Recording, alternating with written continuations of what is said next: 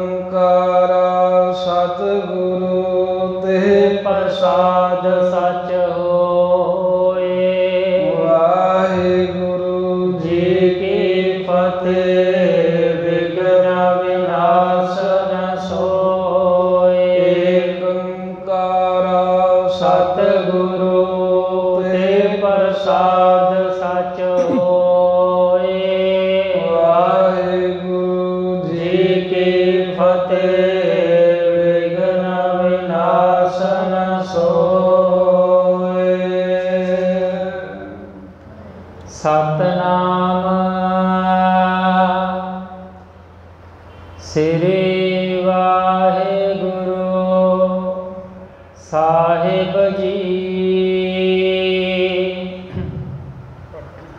ਤੀਰ ਮਲ ਰਹੇ ਪੁਰ। ਤਾਰਾ ਸਭ ਗੁਰ ਕੋ ਸੁਖ ਸਮਾਜ ਸੰਭਾਰਾ।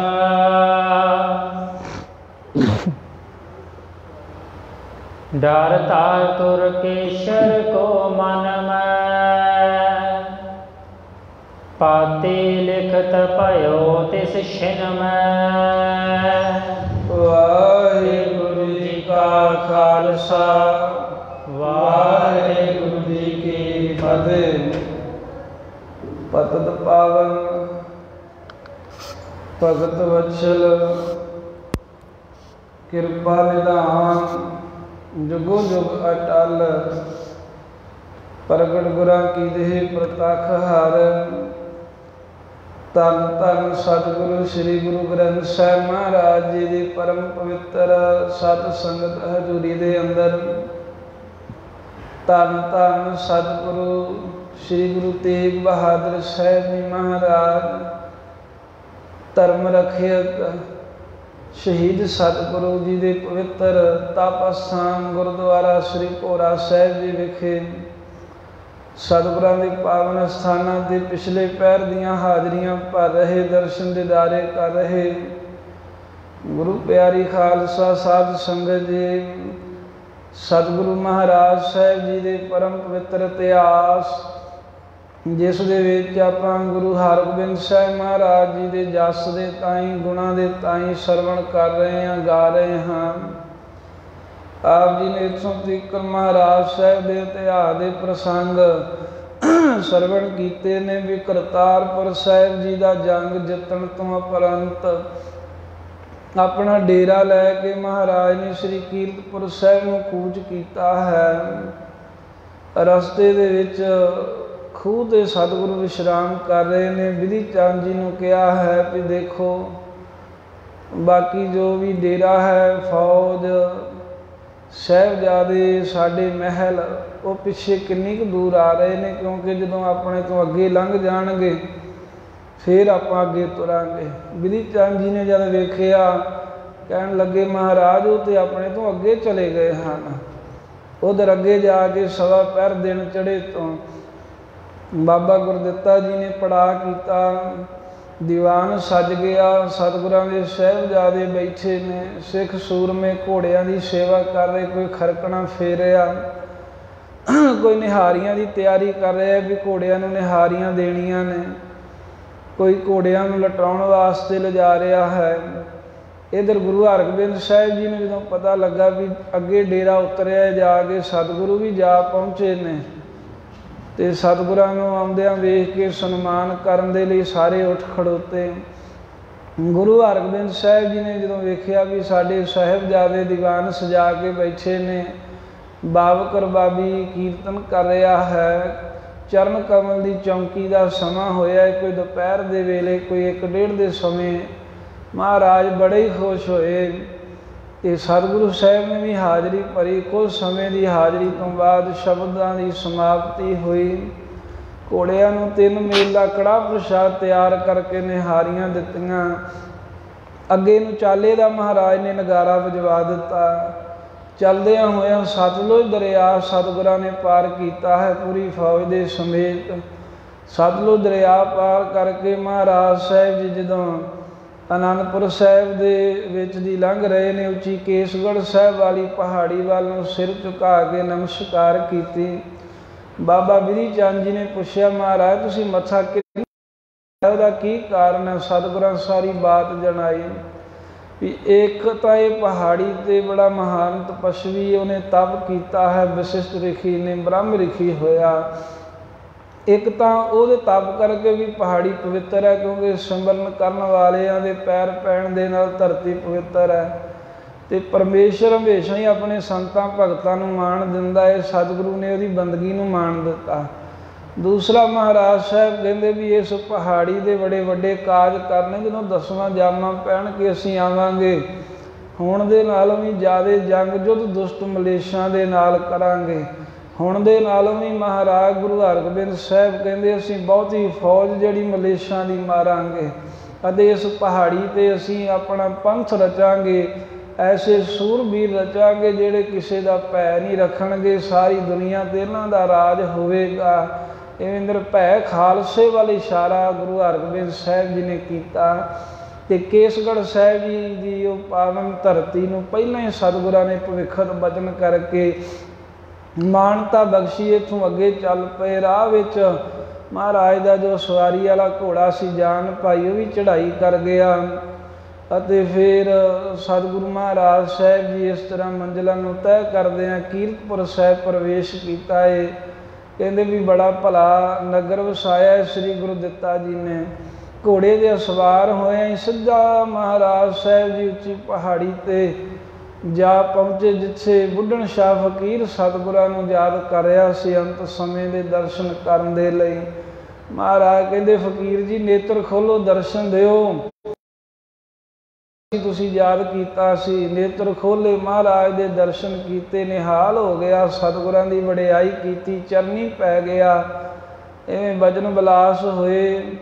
ਗੁਰੂ ਹਰਗੋਬਿੰਦ ਸਾਹਿਬ ਜੀ ਦੇ ਨਾਲ ਉਦੋਂ ਬਾਬਾ ਗੁਰਦਿੱਤਾ ਜੀ ਆਣ ਪਹੁੰਚੇ। ਤੇ ਮਹਾਰਾਜ ਕਹਿੰਦੇ ਹੁਣ ਤੁਹਾਡੇ ਲਾਗੇ ਗੁਰਦਿੱਤਾ ਜੀ ਬੈਠਣਗੇ। ਇਹਨਾਂ ਨਾਲ ਬਚਨ ਬਲਾਸ ਕਰੋ, ਅਸੀਂ ਨਗਰ ਦੇ ਵਿੱਚ ਜਾਣਾ ਹੈ। ਇਹ ਗਰੀਬ ਨਿਵਾਸ ਸਤਿਗੁਰੂ ਹਰਗੋਬਿੰਦ ਸਾਹਿਬ ਮਹਾਰਾਜ ਮਹਿਲਾਂ ਦੇ ਵਿੱਚ ਆਏ ਹਨ ਤੇ ਸਤਿਗੁਰਾਂ ਨੇ ਸਾਧ ਸੰਗਤ ਜੀ ਫਿਰ ਕਮਰ ਕੱਸਾ ਖੋਲਿਆ ਬੜੇ ਲੰਮੇ ਸਮੇਂ ਬਾਅਦ। ਗੁਰੂ ਹਰਗੋਬਿੰਦ ਸਾਹਿਬ ਸੱਚੇ ਪਾਤਸ਼ਾਹ ਨੇ ਇਸ਼ਨਾਨ ਕੀਤਾ। ਸਰੀਰ ਦੇ ਸੇਵਕਾਂ ਨੇ ਫੱਟ ਵੇਖੇ ਕਿ ਜ਼ਖਮ ਲੱਗੇ ਘਾਵ ਲੱਗੇ ਨੇ, ਸ਼ਸਤਰਾਂ ਦੇ ਤੀਰ ਵੱਜੇ ਨੇ, ਕਿਰਪਾਨਾਂ ਦੀਆਂ ਨੋਕਾਂ। ਤੇ ਜਦੋਂ ਗਿਣਤੀ ਕੀਤੀ, ਪੂਰੇ 72 ਫੱਟ ਗੁਰੂ ਹਰਗੋਬਿੰਦ ਸਾਹਿਬ ਦੇ ਸਰੀਰ ਤੇ ਲੱਗੇ ਵੇਖੇ। ਸਭ ਹੈਰਾਨ ਹੋ ਗਏ ਵੀ ਧੰਨ ਨੇ ਮਹਾਰਾਜ ਸਾਹਿਬ, ਇਹਨੇ ਫੱਟ ਖਾ ਕੇ ਵੀ ਸਜਣਾ ਨਹੀਂ ਜਣਾਇਆ ਜਾਂ ਪਤਾ ਲੱਗਣ ਦਿੱਤਾ ਵੀ ਸਾਡੇ ਸਰੀਰ ਤੇ ਜ਼ਖਮ ਹਨ। ਕੋਈ ਦਰਦ ਨਹੀਂ ਮਨਾਇਆ ਸਤਿਗੁਰਾਂ ਨੇ। ਰਾਤ ਨੂੰ ਲੰਗਰ ਪ੍ਰਸ਼ਾਦਾ ਛਕ ਕੇ ਵਿਸ਼ਰਾਮ ਕੀਤਾ ਹੈ। ਅੰਮ੍ਰਿਤ ਵੇਲੇ ਪਹਿਰ ਰਾਤ ਰਹਿੰਦੀ ਤੋਂ ਸਤਿਗੁਰੂ ਜੀ ਬੁੱਢਣ ਸ਼ਾਹ ਫਕੀਰ ਨੂੰ ਮਿਲਣੀ ਤਿਆਰ ਹੋਏ ਕਿਉਂਕਿ ਉਧਰ ਸਾਰੀ ਰਾਤ ਬਾਬਾ ਗੁਰਦਿੱਤਾ ਜੀ ਦੇ ਬੁੱਢਣ ਸ਼ਾਹ ਫਕੀਰ ਆਪਸ ਵਿੱਚ ਬ੍ਰਹਮ ਗਿਆਨ ਦੀਆਂ ਗੱਲਾਂ ਕਰਦੇ ਆ। ਪਰਮੇਸ਼ਰ ਗੁਰੂ ਹਰਗੋਬਿੰਦ ਸਾਹਿਬ ਦੇ ਗੁਣ ਗਾਉਂਦੇ ਆ ਲੰਘੀ ਤਿੰਨ ਪੈਰ ਰਾਤ ਲਗਾਤਾਰ 9 ਘੰਟੇ ਆਪਸ ਵਿੱਚ ਰੱਬ ਦੀਆਂ ਗੱਲਾਂ ਕਰਦੇ ਰਹੇ, ਮਿਲ ਕੇ ਸ੍ਰੀ ਗੁਰਦਿੱਤਾ ਜੀ ਤੇ ਬੁੱਢਣ ਸ਼ਾਹ ਫਕੀਰ। ਸਤਿਗੁਰੂ ਆਣ ਪਹੁੰਚੇ, ਸਤਿਗੁਰਾਂ ਨੂੰ ਵੇਖ ਕੇ ਖੜਾ ਹੋ ਗਿਆ। ਛੇਵੇਂ ਪਾਤਸ਼ਾਹ ਕਹਿੰਦੇ, ਫਕੀਰ ਜੀ, ਵੇਖ ਲਓ ਜੇ ਹਾਲਾਂ ਹੋਰ ਜੀਵਨ ਦੀ ਆਸਾ ਹੋਵੇ, ਤਾਂ ਹੋਰ ਕੁਝ ਸਮਾਂ ਬੰਦਗੀ ਕਰ ਲਓ। ਤਾਂ ਬੁੱਢਣ ਸ਼ਾਹ ਫਕੀਰ ਨੇ ਹੱਥ ਜੋੜ ਕੇ ਕਿਹਾ, ਮਹਾਰਾਜ 500 ਵਰੇ ਤਾਂ ਹੋ ਗਏ ਐ। ਵੱਡੇ ਵੱਡੇ ਜੋਗੀ, ਰਿਖੀ ਮਹਾਤਮਾ ਬੰਦਗੀ ਕਰਦੇ ਆ ਵੀ ਅੰਤ ਸਮੇਂ ਸਾਡੇ ਕੋਲ ਪਰਮੇਸ਼ਰ ਆ ਜਾਵੇ। ਤੇ ਮਹਾਰਾਜ ਆ ਸਮਾਂ ਮਿਲਿਆ ਏ ਵੀ ਹੁਣ ਤੁਸੀਂ ਆਏ ਹੋ, ਤੁਹਾਡੇ ਦਰਸ਼ਨ ਹੋਏ ਨੇ। ਕੀ ਪਤਾ ਇਹ ਸਮਾਂ ਫੇਰ ਮਿਲਣਾ ਕਿ ਨਹੀਂ ਮਿਲਣਾ? ਤੇ ਹੁਣ ਤੇ ਜਾਣਾ ਹੀ ਠੀਕ ਹੈ। ਇਵੇਂ ਗੁਰੂ ਹਰਗੋਬਿੰਦ ਸਾਹਿਬ ਜੀ ਦੇ ਹਜੂਰ ਸਾਹਮਣੇ ਬੁੱਢਣ ਸ਼ਾਹ ਫਕੀਰ ਸਤਿਗੁਰਾਂ ਦੀ ਆਗਿਆ ਲੈ ਕੇ ਧਰਤੀ ਤੇ ਲੰਮੇ ਪੈ ਗਿਆ ਤੇ ਲੰਮੇ ਪੈਂਦਿਆਂ ਸਾਰੀ ਸਹਿਜੇ ਹੀ ਜਿਵੇਂ ਹਾਥੀ ਆਪਣੇ ਗਲ ਚੋਂ ਫੁੱਲਾਂ ਦੀ ਮਾਲਾ ਲਾ ਕੇ ਸਿੱਟ ਦਿੰਦਾ ਹੈ ਐਵੇਂ ਸਰੀਰ ਤਿਆਗ ਦਿੱਤਾ, ਕੋਈ ਸੰਕਟ ਨਹੀਂ ਆਇਆ, ਨਹੀਂ ਤੇ ਬਾਬਾ ਫਰੀਦ ਜੀ ਨੇ ਲਿਖਿਆ ਹੈ ਜਿੰਦਨ ਮਾਣੀ ਕੱਢੀਏ, ਹੱਡਾਂ ਕੋ ਕੜਕਾਏ। ਬੜੀ ਤੰਗ ਕਰਕੇ ਜਿੰਦ ਕੱਢੀ ਜਾਂਦੀ, ਜਦੋਂ ਫਿਰ ਆਮ ਬੰਦੇ ਜਿਹੜੇ ਸਧਾਰਨ ਬੰਦਗੀ ਨਹੀਂ ਨਾ ਕਰਦੇ, ਜਦੋਂ ਉਹਨਾਂ ਦਾ ਸਰੀਰ ਦੇ ਵਿੱਚੋਂ ਆਤਮਾ ਜਿੰਦ ਕੱਢਦੇ ਹਨ ਫਿਰ ਹੱਡ ਕੜਕੜ ਕਰਦੇ ਪਾਪ ਦੁਖੀ ਹੁੰਦੇ ਨੇ, ਸਰੀਰ ਜਿਹੜਾ ਹੈ ਉਸ ਵੇਲੇ ਹੱਥ ਮੁੜਦੇ ਨੇ, ਸਰੀਰ ਨੂੰ ਇੱਕ ਰੰਗ ਆਉਂਦਾ ਏ, ਇੱਕ ਜਾਂਦਾ ਹੈ, ਬੜੀ ਜਿੰਦ ਦੁਖੀ ਹੁੰਦੀ ਹੈ।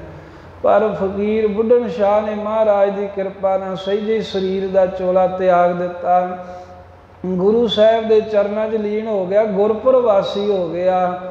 ਛੇਵੇਂ ਪਾਤਸ਼ਾਹ ਨੇ ਆਪ ਫਿਰ ਜੋ ਵੀ ਮੁਸਲਮਾਨ ਧਰਮ ਦੀ ਮਰਿਆਦਾ ਉਹ ਸਾਰੀ ਨਿਭਾ ਕੇ ਬੁੱਢਣ ਸ਼ਾਹ ਫਕੀਰ ਦੇ ਲਈ ਕਬਰ ਖੁਦਾ ਕੇ, ਉਹਦੇ ਵਿੱਚ ਮਹਾਰਾਜ ਸਾਹਿਬ ਜੀ ਨੇ ਉਹਦਾ ਅੰਤਮ ਸੰਸਕਾਰ ਕੀਤਾ। ਆਸਾ ਜੀ ਦੀ ਵਾਰ ਦੇ ਕੀਰਤਨ ਦਾ ਭੋਗ ਪਾਉਣ ਤੋਂ ਉਪਰੰਤ ਪਹਾੜੀ ਤੇ ਬੈਠ ਕੇ ਕੀਰਤਨ ਕੀਤਾ। ਫਿਰ ਉਦਣ ਸਤਿਗੁਰਾਂ ਨੇ ਪੂਰੀ ਆਸਾ ਜੀ ਦੀ ਵਾਰ ਦਾ ਜਦੋਂ ਕੀਰਤਨ ਹੋਇਆ, ਫਿਰ ਫਕੀਰ ਦੇ ਸਰੀਰ ਦੀ ਸੰਭਾਲ ਕੀਤੀ ਹੈ।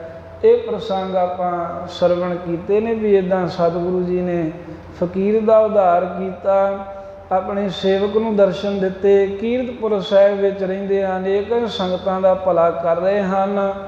ਇਸ ਤੋਂ ਅੱਗੇ ਜਿਵੇਂ ਸ਼ਾਹਜਹਾਨ ਨੂੰ ਜੰਗ ਦੀ ਹਾਰ ਦੀ ਖਬਰ ਜਾਂਦੀ ਹੈ, ਜਿਸ ਪ੍ਰਕਾਰ ਦੇ ਨਾਲ ਬਾਬਾ ਵਿਧੀ ਚੰਦ ਨੂੰ ਆਪਣੇ ਥਾਂ ਤੇ ਸਿੱਖੀ ਦਾ ਪ੍ਰਚਾਰ ਕਰਨ ਹਿਤ ਮਹਾਰਾਜ ਸਾਹਿਬ ਜੀ ਇਧਰ ਪੂਰਬ ਦੱਖਣ ਦੇ ਵਿਚਲੇ ਦੇ ਇਲਾਕੇ ਨੂੰ ਭੇਜਦੇ ਹਨ। ਇਹ ਪ੍ਰਸੰਗ ਸਰਵਣ ਕਰਨ ਹਿਤ ਆਓ ਗੁਰਾਂ ਨੂੰ ਸੀਸ ਝੁਕਾਈਏ ਗੁਰੂ ਹਰਗੋਬਿੰਦ ਸਾਹਿਬ, ਗੁਰੂ ਤੇਗ ਬਹਾਦਰ ਸਾਹਿਬ ਜੀ ਦੇ ਚਰਨ ਕਮਲਾਂ ਤੇ ਸਿਰ ਝੁਕਾਉਂਦੇ ਆ ਰਸਨਾ ਕਰੋ ਪਵਿੱਤਰ। ਸਾਰੀ ਹੀ ਸੰਗਤ ਆਖੋ, ਸਤਨਾਮ ਸ੍ਰੀ ਵਾਹਿਗੁਰੂ।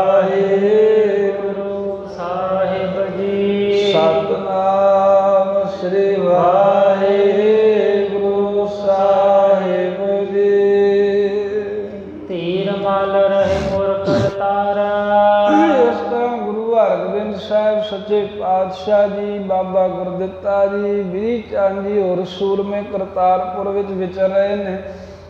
ਇਧਰ ਧੀਰਮਲ ਬਾ- ਬਾਬਾ ਗੁਰਦਿੱਤਾ ਜੀ ਦੇ ਵੱਡੇ ਸੁਪੁੱਤਰ ਗੁਰੂ ਸਾਹਿਬ ਜੀ ਦੀ ਅੰਸ਼ ਬੰਸ ਮਹਾਰਾਜ ਜੀ ਦੇ ਪੋਤਰੇ ਇਹ ਕਰਤਾਰਪੁਰ ਦੇ ਵਿੱਚ ਹੀ ਉਹਨਾਂ ਰਹਿਣਾ ਆਪਣੀ ਮਾਤਾ ਦੇ ਸਮੇਤ ਠੀਕ ਸਮਝਿਆ। ਸਭ ਗੁਰੂ ਕੋ ਸਮਾਜ ਸੰਭਾਰਾ। ਤੇ ਜੋ ਕੁਝ ਵੀ ਮਹਾਰਾਜ ਉੱਥੇ ਛੱਡ ਆਏ ਸਨ ਸਾਰਾ ਕੁਝ ਸੰਭਾਲ ਲਿਆ। ਹੁਣ ਸੰਭਾਲਣਾ ਵੀ ਤੇ ਵੈਸੇ ਧੀਰਮਲ ਨਹੀਂ ਸੀ ਨਾ ਜਦੋਂ ਮਹਾਰਾਜ ਦੇ ਪੁੱਤਰੇ ਨੇ। ਤੇ ਹੋਰ ਉੱਥੇ ਹੋਰ ਕੌਣ ਹੈ? ਬਾਬਾ ਗੁਰਦਿੱਤਾ ਜੀ ਦੇ ਘਰੋਂ ਸਾਡੇ ਸਤਿਕਾਰਯੋਗ ਮਾਤਾ ਜੀ ਮਾਤਾ ਅਨੰਤੀ ਨਿਹਾਲ ਕੌਰ ਜੀ ਉੱਥੇ ਜ਼ਿੰਮੇਵਾਰ ਆਪ ਹਾਜ਼ਰ ਨੇ। ਇਹ ਸਾਰਾ ਸਾਜੋ ਸਮਾਨ ਸੰਭਾਲ ਲਿਆ। ਡਰ ਧਰ ਤੁਰ ਕੇਸ਼ਰ ਕੋ ਮਨ ਮਹਿ। ਤੇ ਧੀਰਮਲ ਥੋੜਾ ਜਿਹਾ ਕਵੀ ਜੀ ਕਹਿੰਦੇ ਵੀ ਡਰ ਕੇ ਤੇ ਸ਼ਾਹਜਹਾਨ ਬਾਦਸ਼ਾਹ ਦੇ ਤਾਈ। ਪਾਤੀ ਲਿਖਤ ਭਇਓ ਤਿਸ ਛਿਨ ਮੈਂ ਇਸ ਤਰ੍ਹਾਂ ਚਿੱਠੀ ਜੀ ਲਿਖ ਕੇ ਇੱਕ ਲਾਹੌਰ ਨੂੰ ਭੇਜੀ ਹੈ। ਧੀਰਮਲ ਨੇ ਕਰਤਾਰਪੁਰ ਸਾਹਿਬ ਤੋਂ ਹਮ ਹਮੇਸ਼ ਹਜਰਤ ਅਨੁਸਾਰੀ ਉਹਦੇ ਵਿੱਚ ਮੇਲ ਮਿਲਾਪ ਦੇ ਬਚਨ ਕਹੇ ਹੈ ਵੀ ਹੇ ਸ਼ਾਹਜਹਾਨ ਜੀ ਅਸੀਂ ਤਾਂ ਤੁਹਾਡੇ ਨਾਲ ਮੇਲ ਮਿਲਾਪ ਹੀ ਰੱਖਣਾ ਹੈ। ਜਥਾ ਅਪਰ ਖਲਕਤ ਹੈ ਸਾਰੀ। ਜਿਵੇਂ ਹੋਰ ਸਾਰੀ ਖਲਕਤ ਪ੍ਰਜਾ ਤੁਹਾਡੇ ਨਾਲ ਮੇਲ ਮਿਲਾਪ ਜਿਹਾ ਰੱਖਦੀ ਹੁਕਮ ਜੇ ਚ ਰਹਿੰਦੀ ਹੈ ਉਸੇ ਤਰ੍ਹਾਂ ਕਿ ਧੀਰਮਲ ਕਹਿੰਦਾ ਮੈਂ ਵੀ ਤੁਹਾਡੇ ਪ੍ਰਜਾ ਦੇ ਵਾਂਗ ਹੀ ਤੁਹਾਡੇ ਕੋਲ ਰਹਾਂਗਾ। ਪਠਿਓ ਦੂਤ ਰਗਪੁਰ ਕੋ ਇਸ ਧਾਇਓ ਤਰ੍ਹਾਂ ਕਰਤਾਰਪੁਰ ਸਾਹਿਬ ਤੋਂ ਦੂਤ ਭੇਜਿਆ। ਤੇ ਲਾਹੌਰ ਨੂੰ ਗਿਆ ਬੜੀ ਛੇਤੀ ਦੇ ਨਾਲ।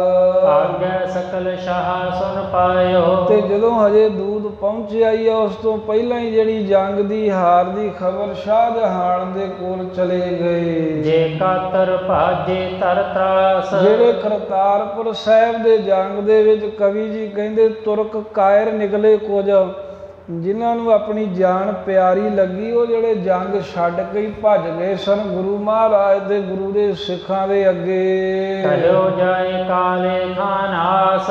ਉਹਨਾਂ ਨੇ ਜਾ ਕੇ ਆਖਿਆ ਵੀ ਹੇ ਸ਼ਾਹਜਹਾਨ ਜੀ ਆਪਣੀ ਫੌਜ ਦੀ ਹਾਰ ਹੋ ਗਈ ਹੈ ਤੇ ਕਾਲੇ ਖਾਨ ਜਰਲੈਲ ਮਾਰਿਆ ਗਿਆ ਹੈ। ਕੁਤਬਾ ਪੈਦ ਖਾਨ ਅਸਮਾਨ। ਉਹ ਸ਼ਾਹਜਹਾਨ ਨੇ ਪੁੱਛਿਆ ਵੀ ਕੱਲਾ ਕਾਲੇ ਖਾਨ ਮਾਰਿਆ ਗਿਆ ਕੋਈ ਬਚਿਆ ਵੀ ਹੈ ਜਾਂ ਜਰਨੈਲ ਜਾਂ ਨਹੀਂ? ਤਾਂ ਉਹ ਜਿਹੜੇ ਭੱਜ ਕੇ ਗਏ ਸਨ ਤੁਰਕ ਕਹਿਣ ਲੱਗੇ ਜੀ ਕੀ ਦਸੀਏ?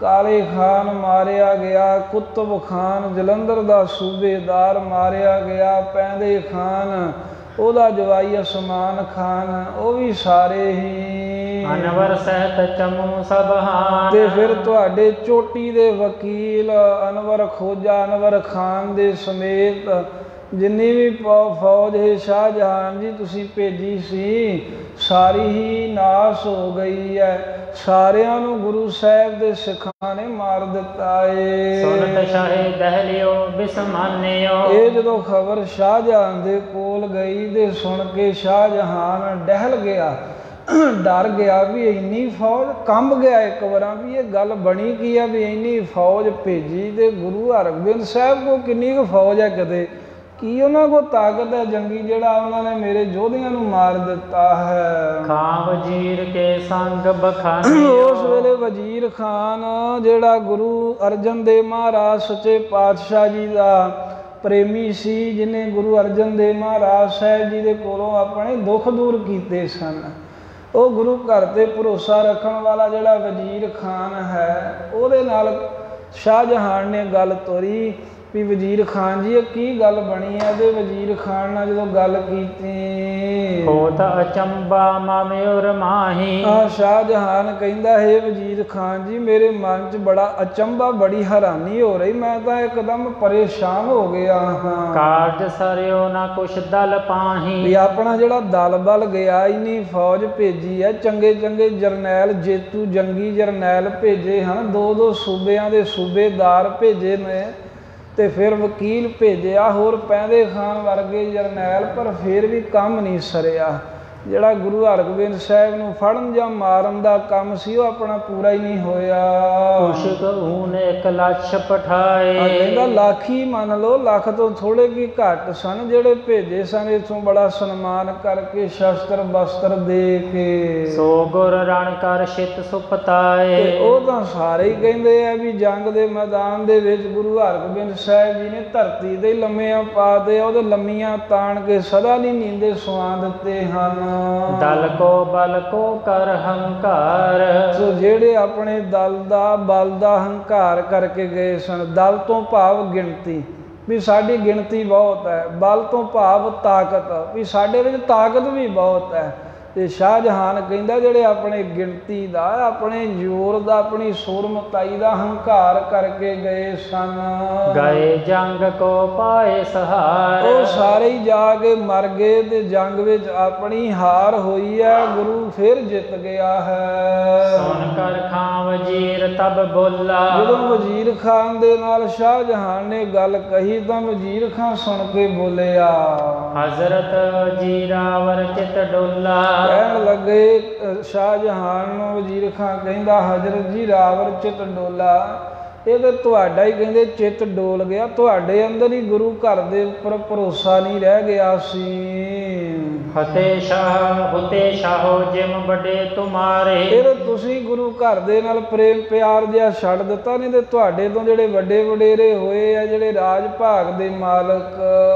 ਸੇਵਤ ਪਗ ਸਿਜਦਾ ਧਾਰੇ। ਉਹ ਤਾਂ ਗੁਰੂ ਸਾਹਿਬ ਜੀ ਦੇ ਦਰ ਘਰ ਤੇ ਨਮਸਕਾਰਾਂ ਕਰਦੇ ਰਹੇ, ਉਹ ਤਾਂ ਸੇਵਾ ਕਰਦੇ ਰਹੇ ਆ ਗੁਰੂ ਸਾਹਿਬ ਜੀ ਦੀ। ਕਰ ਪ੍ਰਸੰਨ ਬਰ ਸਭ ਨੇ ਪਾਏ। ਆ ਸਾਰਿਆਂ ਨੇ ਆਪੋ ਆਪਣੇ ਸਮੇਂ 'ਚ ਗੁਰਾਂ ਨੂੰ ਪ੍ਰਸੰਨ ਕਰਕੇ ਰਾਜ ਭਾਗ ਦੇ ਵਰ ਪਾਏ ਹਨ। ਸਕਲ ਸਮਾਜ ਲਏ ਮਨ ਤੇ ਪਾਏ ਮਨ ਭਾਉਂਦੇ ਸਾਰੇ ਹੀ ਰਾਜ ਭਾਗ ਦੇ ਸਾਜੋ ਸਮਾਨ ਪ੍ਰਾਪਤ ਕੀਤੇ ਵਰ ਪਾ ਕੇ। ਸ੍ਰੀ ਨਾਨਕ ਸੰਗ ਬਾਬਰ ਮੇਲਾ। ਹੁਣ ਦੱਸਣ ਲੱਗਾ ਵਜ਼ੀਰ ਖਾਂ ਕਹਿੰਦਾ ਵੇਖੋ ਸਭ ਤੋਂ ਪਹਿਲਾਂ ਤੁਹਾਡੇ ਵੱਡੇ ਵਡੇਰੇ ਬਾਬਰ ਨੇ ਗੁਰੂ ਨਾਨਕ ਦੇਵ ਮਹਾਰਾਜ ਸਾਹਿਬ ਜੀ ਦੇ ਨਾਲ ਜਦੋਂ ਮਿਲਾਪ ਹੋਇਆ ਰਾਜ ਤੇਜ ਬਰ ਲੀਨ ਸੁਹੇਲਾ। ਤੇ ਉਹ ਸਵੇਰੇ ਗੁਰੂ ਨਾਨਕ ਦੇਵ ਸਾਹਿਬ ਜੀ ਦੇ ਕੋਲੋਂ ਰਾਜ ਭਾਗ ਦਾ ਤੇਜ ਪ੍ਰਤਾਪ ਦਾ ਸੌਖਾ ਹੀ ਵਰ ਲੈ ਲਿਆ। ਗੁਰੂ ਨਾਨਕ ਦੇਵ ਸਾਹਿਬ ਜੀ ਨੇ ਕਿਹਾ ਸੀ ਬਾਬਰ ਨੂੰ ਵੀ ਤੂੰ ਜ਼ੁਲਮ ਕੀਤਾ ਇਥੇ ਇਮਨਾਬਾਦ ਪਰ ਰਾਜ ਭਾਗ ਤੇਰਾ ਆਊਗਾ। ਜੇ ਤੂੰ ਪ੍ਰਜਾ ਨੂੰ ਤੰਗ ਨਹੀਂ ਕਰੇਗਾ ਇਨਸਾਫ ਕਰੇਗਾ ਧੱਕਾ ਨਹੀਂ ਕਰੇਗਾ ਉਹਨਾਂ ਚਿਰ ਤੁਹਾਡਾ ਰਾਜ ਰਹੂ। ਜਦੋਂ ਤੁਸੀਂ ਪ੍ਰਜਾ ਨੂੰ ਦੁਖੀ ਕਰੋਗੇ ਬੇਇਨਸਾਫੀ ਕਰੋਗੇ ਫਿਰ ਰਾਜ ਤੁਹਾਡਾ ਖੋਹ ਲਵਾਂਗੇ। ਐਵੇਂ ਗੁਰੂ ਨਾਨਕ ਦੇਵ ਮਹਾਰਾਜ ਨੇ ਬਾਬਰ ਨੂੰ ਵਰ ਦਿੱਤਾ ਏ। ਤੇ ਫਿਰ ਵਜ਼ੀਰ ਖਾਂ ਕਹਿਣ ਲੱਗਾ ਵੀ ਵੇਖੋ ਜਦੋਂ ਸ਼ੇਰ ਸ਼ਾਹ ਸੂਰੀ ਨੇ ਹਿਮਾਯੂ ਤੁਹਾਡੇ ਵੱਡੇ ਵਡੇਰੇ ਨੂੰ ਜੰਗ ਕਰਕੇ ਤੇ ਦਿੱਲੀ ਤਖਤ ਤੋਂ ਹਰਾ ਕੇ ਕੱਢ ਦਿੱਤਾ ਸੀ। ਪਹੁੰਚੋ ਸ਼੍ਰੀ ਅੰਗਦ ਕੇ ਪਾਸਾ। ਤੇ ਉਹ ਜੰਗ ਚੋਂ ਹਾਰ ਕੇ ਗੋਂਦਵਾਲ ਸਾਹਿਬ ਥਾਣੀ ਵਾਪਸ ਆ ਰਿਹਾ ਸੀ ਤੇ ਉੱਥੋਂ ਦਾ ਮਨ ਕੀਤਾ ਵੀ ਮੈਂ ਗੁਰੂ ਅੰਗਦ ਸਾਹਿਬ ਨੂੰ ਮਿਲ ਜਾਵਾਂ ਪੁੱਛ ਲਵਾਂ ਵੀ ਤੁਹਾਡੇ ਵੱਡੇ ਸਤਿਗੁਰਾਂ ਦੇ ਕਿਹਾ ਸੀ ਵੀ ਰਾਜ ਤੁਹਾਡਾ ਰਹੇਗਾ। ਤੇ ਸ੍ਰੀ ਖਡੂਰ ਸਾਹਿਬ ਜਿੱਥੇ ਮੱਲਖਾੜਾ ਸਾਹਿਬ ਅਸਥਾਨ ਹੈ ਉੱਥੇ ਗੁਰੂ ਅੰਗਦ ਦੇਵ ਮਹਾਰਾਜ ਬਰਾਜਮਾਨ ਸਨ ਉੱਥੇ ਹੀ ਮਾਨੂ ਬਾਦਸ਼ਾਹ ਆਇਆ। ਜਿਨ ਕੇ ਬਰ ਲੈ ਕਰ ਪਤ ਸ਼ਾਹੀ ਤੇ ਵਜ਼ੀਰ ਖਾਨ ਉਸ ਵੇਲੇ ਗੁਰੂ ਘਰ ਦੀ ਵਡਿਆਈ ਦੱਸ ਰਿਹਾ ਹੈ ਨਾ ਵੀ ਹੇ ਸ਼ਾਹ ਜਹਾਨ ਜੀ ਵੇਖੋ ਫਿਰ ਗੁਰੂ ਅੰਗਦ ਦੇਵ ਮਹਾਰਾਜ ਦੂਸਰੇ ਸਰੂਪ ਸਨ ਗੁਰੂ ਨਾਨਕ ਦੇਵ ਜੀ ਦੇ। ਉਹਨਾਂ ਦੇ ਕੋਲੋਂ ਵੀ ਪਾਤਸ਼ਾਹੀ ਦਾ ਵਰ ਲੈਣਾ ਕੀਤਾ ਸਤਿਗੁਰਾਂ ਕਿਹਾ ਤੇਰੀ ਜਿੱਤ ਹੋਵੇਗੀ ਧਰਮ ਦਾ ਰਾਜ ਕਰੀ। ਕਰਿਓ ਰਾਜ ਬੜਾਵਨੀ ਮਾਹੀ। ਫਿਰ ਸਤਿਗੁਰਾਂ ਦੀ ਕਿਰਪਾ ਨਾਲ ਹਿਮਾਯੂ ਨੇ ਵੀ ਬਹੁਤ ਧਰਤੀ ਦੇ ਰਾਜ ਕੀਤਾ। ਮਤ ਵੰਡ ਬਦ ਅਕਬਰ ਪਾਏ। ਫੇਰ ਹੈ ਸ਼ਾਹਜਹਾਨ ਜੀ ਵੇਖੋ ਅਕਬਰ ਬਾਦਸ਼ਾਹ ਬੜਾ ਸਿਆਣਾ ਹੋਇਆ ਹੈ ਤੁਹਾਡਾ ਵੱਡਾ ਵਡੇਰਾ। ਸ੍ਰੀ ਗੁਰ ਅਮਰ ਅਰਾਧਨ ਕੀਏ। ਉਹਨੇ ਵੀ ਸ੍ਰੀ ਗੁਰੂ ਅਮਰਦਾਸ ਮਹਾਰਾਜ ਜੀ ਨੂੰ ਅਰਾਧਿਆ ਸ੍ਰੀ ਗੋਂਦਵਾਲ ਸਾਹਿਬ ਨੰਗੇ ਪੈਰੀ ਚੱਲ ਕੇ ਗੁਰੂ ਸਾਹਿਬ ਦੇ ਦਰਸ਼ਨ ਕਰਨ ਆਇਆ ਪੰਗਤ ਵਿੱਚ ਬੈਠ ਕੇ ਲੰਗਰ ਛਕਿਆ, ਫਿਰ ਮਹਾਰਾਜ ਦੀ ਆ ਕੇ ਸੰਗਤ ਕੀਤੀ ਹੈ। ਜਦੋਂ ਸਾਧ ਸੰਗਤ ਅਕਬਰ ਆਇਆ ਨਾ ਸ੍ਰੀ ਗੋਂਦਵਾਲ ਸਾਹਿਬ, ਤੇ ਜਿਵੇਂ ਲੋਕ ਹੁੰਦੇ ਅੱਜ ਤੀਕਰ ਵੀ ਹੈਗੇ ਨੇ ਵੀ ਜਦੋਂ ਕੋਈ ਸਰਕਾਰੀ ਕੋਈ ਠਾਠ ਬਾਠ ਵਾਲਾ ਆਵੇ, ਉਹਦੇ ਅੱਗੇ ਪਿੱਛੇ ਭੱਜੇ ਫਿਰਦੇ ਆ, ਅਤੇ ਕਲੀਨ ਵਿਛਾਉਂਦੇ ਫਿਰਦੇ ਨੇ ਦੂਰ ਦੂਰ ਤੀਕਰ ਵੀ ਅਸੀਂ ਬੜਾ ਤੁਹਾਡਾ ਮਾਣ ਕਰਦੇ। ਉਦੋਂ ਵੀ ਜਿਹੜੇ ਅਕਬਰ ਦੇ ਅੱਗੇ ਪਿੱਛੇ ਪੂਛਾਂ ਲਾਉਣ ਵਾਲੇ, ਤੇ ਉਹ ਗੋਂਦਵਾਲ ਸਾਹਿਬ ਤੋਂ ਬਾਹਰ ਦੂਰੋਂ ਹੀ ਉਹਨਾਂ ਕਲੀਨ ਵਿਛਾਉਣੇ ਵਿਛਾਉਣੇ ਸ਼ੁਰੂ ਕੀਤੇ। ਤਾਂ ਉਸ ਵੇਲੇ ਅਕਬਰ ਕਹਿਣ ਲੱਗਾ, ਨਹੀਂ, ਮੈਂ ਗੁਰੂ ਹਰ, ਗੁਰੂ ਅਮਰਦਾਸ ਸਾਹਿਬ ਮਹਾਰਾਜ ਜੀ ਦੇ ਦਰਸ਼ਨ ਕਰਨ ਵਾਸਤੇ ਚੱਲਿਆ ਹਾਂ ਤੇ ਮੈਂ ਇਹ ਜਿਹੜਾ ਆਪਣਾ ਠਾਠ ਬਾਠ ਦੇ ਨਾਲ ਨਹੀਂ ਜਾਣਾ। ਮੈਂ ਨਿਮਰਤਾ ਦੇ ਨਾਲ ਸਤਿਗੁਰੂ ਮਹਾਰਾਜ ਸਾਹਿਬ ਜੀ ਦੇ ਦਰਸ਼ਨ ਕਰਨੇ ਨੇ ਜਾ ਕੇ। ਉਹਨੇ ਉਹ ਗਲੀਚੇ 'ਚ ਚੁਕਾ ਦੇ ਜਿਹੜੇ ਵਿਛਾਏ ਸਨ, ਜੋੜਾ ਵੀ ਲਾਤਾ ਨੰਗੇ ਪੈਰੀ ਬੌਰੀ ਸਾਹਿਬ ਜਿੱਥੇ ਮਹਾਰਾਜ ਬਰਾਜਮਾਨ ਉੱਥੇ ਪਹੁੰਚਿਆ। ਉੱਥੇ ਪਤਾ ਲੱਗਾ ਵੀ ਸਤਿਗੁਰਾਂ ਦੀ ਆਗੇ ਆਏ ਭਾਵੇਂ ਕੋਈ ਵੀ ਆਵੇ ਜਿਹਨੇ ਸਾਨੂੰ ਮਿਲਣਾ, ਪਹਿਲਾਂ ਲੰਗਰ 'ਚ ਬਹਿ ਕੇ ਪ੍ਰਸ਼ਾਦਾ ਛਕੇ। ਅਕਬਰ ਨੇ ਉਹ ਵੀ ਮੰਨਿਆ, ਲੰਗਰ ਵਿੱਚ ਬੈਠ ਕੇ ਪ੍ਰਸ਼ਾਦਾ ਛਕਿਆ। ਫਿਰ ਮਹਾਰਾਜ ਦੇ ਦਰਸ਼ਨ ਕੀਤੇ ਵੀ ਪੁੱਛਿਆ ਸੀ, ਸਤਿਗੁਰੂ, ਮੈਂ 36 ਤਰ੍ਹਾਂ ਦੇ ਭੋਜਨ ਖਾਣਾ ਪਰ ਤੁਹਾਡੇ ਦਾ- ਲੰਗਰ ਵਿੱਚੋਂ ਦਾਲ ਪ੍ਰਸ਼ਾਦਾ ਛਕ ਕੇ ਜਿਹੜਾ ਆਨੰਦ ਆਇਆ, ਮੈਨੂੰ 36 ਤਰ੍ਹਾਂ ਦੇ ਭੋਜਨਾਂ ਚੋਂ ਨਹੀਂ ਆਇਆ। ਗੁਰੂ ਅਮਰਦਾਸ ਸਾਹਿਬ ਕਹਿੰਦੇ, ਨਾਮ ਦੀ ਬਰਕਤ ਹੈ। ਨਾਮ ਦੇ ਨਾਲ ਹੀ ਸਭ ਕੁਝ ਅੰਮ੍ਰਿਤ ਬਣ ਜਾਂਦਾ। ਤੇ ਉੱਥੇ ਫਿਰ ਮਹਾਰਾਜ ਗੁਰੂ ਅਮਰਦਾਸ ਸਾਹਿਬ ਜੀ ਦੇ ਕੋਲੋਂ ਬਖਸ਼ਾਂ ਲਈਆਂ। ਅਕਬਰ ਬਾਦਸ਼ਾਹ ਨੇ। ਤੇ ਵਜ਼ੀਰ ਖਾਨ ਸ਼ਾਹ ਜਹਾਨ ਨੂੰ ਦੱਸ ਰਿਹਾ ਹੈ ਵੀ ਵੇਖੋ ਤੁਹਾਡੇ ਵਡੇਰਿਆਂ ਨੇ ਤਾਂ ਤੀਸਰੇ ਪਾਤਸ਼ਾਹ ਦੇ ਕੋਲੋਂ ਸੇਵਾ ਕਰਕੇ ਮਹਾਰਾਜ ਦਾ ਸਿਮਰਨ ਕਰਕੇ ਅਰਦਾਸਾਂ ਕਰਾਈਆਂ। ਗੜ ਚ ਤੋੜ ਤਿਨ ਬਚਤੇ ਆ ਟੂਟੇ। 12 ਸਾਲ ਚਤੌੜ ਦਾ ਕਿਲਾ ਨਹੀਂ ਸੀ ਜਿੱਤਿਆ ਗਿਆ।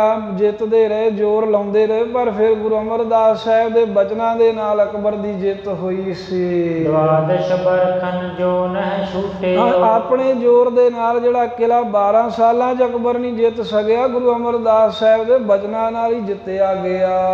ਮਿਲ ਕਰ ਭੇਟ ਪਰਗਣਾ ਕੀ। ਤੇ ਫਿਰ ਵਜ਼ੀਰ ਖਾਂ ਕਹਿੰਦਾ ਉਹਨਾਂ ਨੇ ਮਿਲ ਕਰਕੇ ਵੇਖੋ ਗੁਰੂ ਸਾਹਿਬ ਨੂੰ ਇੱਕ ਪਰਗਣਾ, ਬਹੁਤੇ ਪਿੰਡਾਂ ਦੀ ਜਗੀਰ ਭੇਟਾ ਕੀਤੀ। ਭਾਵੇਂ ਕਿ ਸਤਿਗੁਰਾਂ ਨੇ ਕਿਹਾ ਵੀ ਅਸੀਂ ਇਦਾਂ ਨਹੀਂ ਲੈਣਾ, ਪੈਸੇ ਦੇ ਕੇ ਲਵਾਂਗੇ। ਤੇ ਸਤਿਗੁਰਾਂ ਨੇ ਮਾਮਲਾ ਤਾਰ ਕੇ ਫਿਰ ਉਹ ਪਟਾ ਜਿਹੜਾ ਮਨਜ਼ੂਰ ਕੀਤਾ ਸੀ।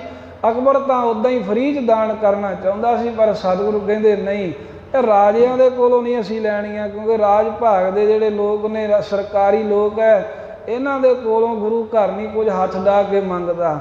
ਸਗੋਂ ਇਹ ਮੰਗਦੇ ਨੇ ਗੁਰੂ ਘਰ ਵਿੱਚੋਂ।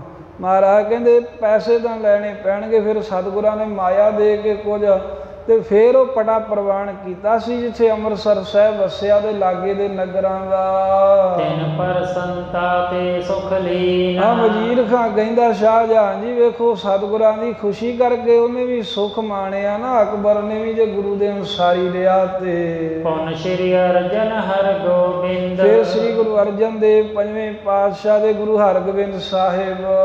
ਮਿਲਿਓ ਪਦਰ ਤੁਮ ਦਵੈ ਕਰ ਬੰਦ। ਤੇ ਤੇਰਾ ਪਿਓ ਵੀ ਤੁਹਾਡਾ ਪਿਤਾ ਜਹਾਂਗੀ- ਜਹਾਂਗੀਰ ਬਾਦਸ਼ਾਹ ਵੀ ਗੁਰੂ ਸਾਹਿਬ ਦੇ ਚਰਨਾਂ ਤੇ ਆਣ ਕੇ ਮਿਲਿਆ। ਕਿਉਂਕਿ ਗਲਤੀ ਕਰ ਬੈਠਾ ਸੀ, ਫਿਰ ਡਰਦੇ ਨੂੰ ਰਾਤ ਨੀਂਦ ਨਹੀਂ ਸੀ ਆਉਂਦੀ। ਸਾੜ ਸਤੀ ਆਦਿਕ ਦੁਖ ਆ ਭਾਰੇ ਜਿਹੜਾ ਸ਼ਨੀ ਦੇ ਨਾਲ ਸੰਬੰਧਿਤ ਦੁੱਖ ਜਿਹਾ 60 ਸਦੀ ਜਿਹਾ ਮੰਨਿਆ ਬੜਾ ਭਾਰੀ ਦੁੱਖ ਆ ਗਿਆ ਸੀ ਜਹਾਂਗੀਰ ਗੁਰ ਤੇ ਪ੍ਰਸੰਨ ਕਰ ਸਕਲ ਨਿਵਾਰੇ। ਉਹ ਵੀ ਗੁਰੂ ਹਰਗੋਬਿੰਦ ਸਾਹਿਬ ਜੀ ਦੀ ਸੇਵਾ ਕੀਤੀ ਮਹਾਰਾਜ ਦੀ ਪ੍ਰਸੰਨਤਾ ਲੈ ਕੇ ਜਹਾਂਗੀਰ ਨੇ ਆਪਣਾ ਦੁੱਖ ਜਿਹਾ ਦੂਰ ਕੀਤਾ ਸਾਰਾ। ਜਬ ਕੀ ਤੁਮ ਪਤ ਸ਼ਾਹਤ ਪਾਈ। ਤੇ ਹੁਣ ਵਜ਼ੀਰ ਖਾਂ ਕਹਿੰਦਾ ਆਪਣੇ ਪਿਤਾ ਜਹਾਂਗੀਰ ਤੋਂ ਬਾਅਦ ਜਦੋਂ ਦੀ ਇਹ ਸ਼ਾਹ ਜਹਾਨ ਜੀ ਤੁਸੀਂ ਪਾਤਸ਼ਾਹਤ ਪਾਈ ਹੈ ਰਾਜ ਭਾਗ ਦਿੱਲੀ ਤਖਤ ਦਾ ਤੁਹਾਨੂੰ ਮਿਲਿਆ ਹੈ। ਅਨੇਕ ਬਾਰ ਹੀਰਾ ਰਮਚਾਈ ਪਰ ਤੁਸੀਂ ਵੇਖੋ ਵੀ ਆਪਣੇ ਵੱਡਿਆਂ ਦੇ ਰਾਹ ਤੇ ਚੱਲ ਕੇ ਗੁਰੂ ਘਰ ਨਾਲ ਪ੍ਰੇਮ ਨਹੀਂ ਰੱਖਿਆ। ਕਈ ਵਾਰਾਂ ਉਹਨਾਂ ਸਤਿਗੁਰਾਂ ਨਾਲ ਝਗੜਾ ਹੀ ਕੀਤਾ ਜੰਗ ਹੀ ਕੀਤਾ ਹੈ। ਬਹੁ ਨੁਕਸਾਨ ਤੁਮਾਰਾ ਪਾਇਓ। ਤੇ ਫੇਰ ਸ਼ਾਹਜਹਾਨ ਜੀ ਵੇਖੋ ਜੰਗ ਕਰਕੇ ਮਿਲਿਆ ਕਿ? ਤੁਹਾਡਾ ਨੁਕਸਾਨ ਹੀ ਹੋਇਆ ਹੈ ਨਾ ਫੌਜਾਂ ਹੀ ਮਰਾਈਆਂ ਜਿੰਨੀ ਵਾਰਾਂ ਵੀ ਗੁਰੂ ਤੇ ਫੌਜ ਚੜ ਕੇ ਭੇਜੀ ਹੈ ਕੋਈ ਜਿੰਦਾ ਵਾਪਸ ਥੋੜਾ ਆਇਆ ਜਰਨੈਲ। ਲੱਖੋਂ ਲਸ਼ਕਰ ਤੈ ਖਪ ਗਇਓ। ਲੱਖਾਂ ਦੀ ਗਿਣਤੀ ਦੇ ਵਿੱਚ ਤੁਹਾਡੇ ਸ਼ਸਤਰ ਧਾਰੀ ਸੂਰਮੇ ਗੁਰੂ ਨਾਲ ਲੜਦੇ ਹੀ ਮਰ ਖੱਪ ਗਏ ਹਨ। ਮੈਂ ਬਹੁ ਬਾਰ ਅਰਜ਼ ਕਰ ਰਹਿਓ ਹੁਣ ਵਜ਼ੀਰ ਖਾਨ ਨੂੰ ਵੀ ਮੌਕਾ ਮਿਲਿਆ ਸ਼ਾਹਜਹਾਨ ਨੂੰ ਸੁਣਾਉਣ ਦਾ ਕਹਿੰਦਾ ਵੇਖੋ ਬਾਦਸ਼ਾਹ ਸਲਾਮਤ ਮੈਂ ਤਾਂ ਤੁਹਾਡੇ ਭਲੇ ਵਾਸਤੇ ਕਈ ਨਾ ਬੇਨਤੀਆਂ ਵੀ ਕਰ ਕਰ ਹਟ ਗਿਆ ਵੀ ਤੁਸੀਂ ਗੁਰੂ ਘਰ ਨਾਲ ਪੰਗੇ ਦੇ ਨਾ ਲਓ ਪਰ ਮੇਰੀ ਗੱਲ ਕਿੱਥੇ ਮੰਨੀ ਤੁਸੀਂ? ਭੇਤ ਨ ਕਛੂ ਆਪਨੇ ਲਹਿਓ ਤੁਸੀਂ ਦੇ ਭੇਦ ਹੀ ਨਹੀਂ ਜਾਣਿਆ ਵੀ ਅੱਗੇ ਤੇ ਸਮਝਿਆ ਵੀ ਜਿਵੇਂ ਕੋਈ ਨਿੱਕੇ ਨਿੱਕੇ ਰਾਜਿਆਂ ਨੂੰ ਤੁਸੀਂ ਆਪਣੇ ਅਧੀਨ ਕਰਦੇ ਹੋ ਵੀ ਗੁਰੂ ਹਰਗੋਬਿੰਦ ਸਾਹਿਬ ਵੀ ਉਸੇ ਤਰ੍ਹਾਂ ਹੀ ਹੋ ਜਾਣਗੇ। ਅਪਰ ਨਰਨ ਸਮਝਾਨ ਤੋਰ ਮੈਂ। ਆਪਣੇ ਦਿਲ ਵਿੱਚ ਗੁਰੂ ਹਰਗੋਬਿੰਦ ਸਾਹਿਬ ਜੀ ਨੂੰ ਆਮ ਮਨੁੱਖਾਂ ਦੇ ਵਾਂਗ ਹੀ ਸਮਝਦੇ ਰਹੇ। ਮੈਂ ਤੁਹਾਨੂੰ ਕਹਿੰਦਾ ਰਿਹਾ ਵੀ ਉਹ ਗੁਰੂ ਨਾਨਕ ਸਾਹਿਬ ਨੇ ਗੁਰੂ ਨਾਨਕ ਦਾ ਰੂਪ ਨੇ ਪਰ ਸ਼ਾਹਜਹਾਨ ਜੀ ਤੁਸੀਂ ਤਾਂ ਸਤਿਗੁਰਾਂ ਦੇ ਕੋਈ ਭਰੋਸਾ ਨਹੀਂ ਨਾ ਰੱਖਿਆ।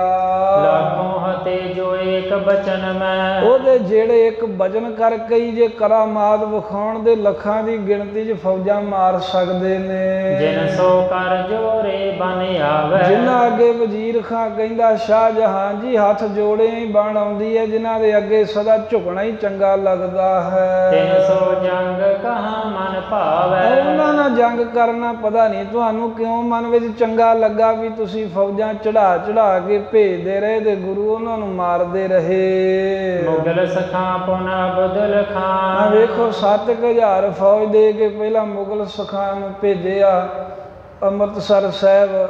ਫਿਰ ਤੁਸੀਂ ਰੋਹਿਲੇ ਆ ਸ੍ਰੀ ਹਰਗੋਬਿੰਦਪੁਰ ਇਹ ਅਬਦੁਲ ਖਾਨ ਨੂੰ 14 15000 ਇਹਨੂੰ ਦੇ ਕੇ ਭੇਜਿਆ ਉਹ ਵੀ ਮਾਰੇ ਗਏ। ਲਲਾ ਸੁਕੰਬਰ ਸੈਨ ਮਹਾ ਫਿਰ 35000 ਫੌਜਾਂ ਲਲਾ ਬੇਗ ਕੰਬਰ ਬੇਗ ਨੂੰ ਦੇ ਕਰਕੇ ਤੁਸੀਂ ਇੱਧਰ ਭੇਜਿਆ ਜਿੱਥੇ ਗੰਗਸਰ ਸੰਗਰਾਣੇ ਉਹ ਵੀ ਮਹਾਰਾਜ ਸਾਹਿਬ ਗੰਗਸਰ ਵਾਲੇ ਸਥਾਨ ਤੇ ਵੀ ਗੁਰੂ ਸਾਹਿਬ ਨੇ ਤੁਹਾਡੀ 35000 ਫੌਜ ਮਾਰ ਦਿੱਤੀ। ਮਨ ਪੈਨਾ ਬਨਿਮਕ ਹਰਾਮੀ। ਤੇ ਪੈਦੇ ਖਾਨ ਹੁਣ ਨਿਮਖ ਹਰਾਮੀ ਹੋ ਗਏ ਕਿਉਂਕਿ ਗੁਰੂ ਹਰਗੋਬਿੰਦ ਸਾਹਿਬ ਨੇ ਪਾਲਣ ਪੋਸ਼ਣ ਕੀਤਾ ਸੀ ਸਾਰਾ ਉਸ ਦਾ ਕਮਰੋ ਲਸ਼ਕਰ ਕਰ ਅਨੁਗਾਮੀ। ਅਦੇ ਤੁਹਾਡੀ ਫੌਜ ਨੂੰ ਆਪਣੇ ਨਾਲ ਲੈ ਗਏ ਇਥੋਂ ਤੁਹਾਨੂੰ ਗੱਲਾਂ ਜੀਆਂ 'ਚ ਲੈ ਲਿਆ ਵੀ ਮੈਂ ਗੁਰੂ ਨੂੰ ਫੜ ਲਿਆਵਾਂਗਾ। ਤੁਸੀਂ ਪੈਦੇ ਖਾਨ ਦੀ ਗੱਲ ਤੇ ਭਰੋਸਾ ਕਰ ਲਿਆ।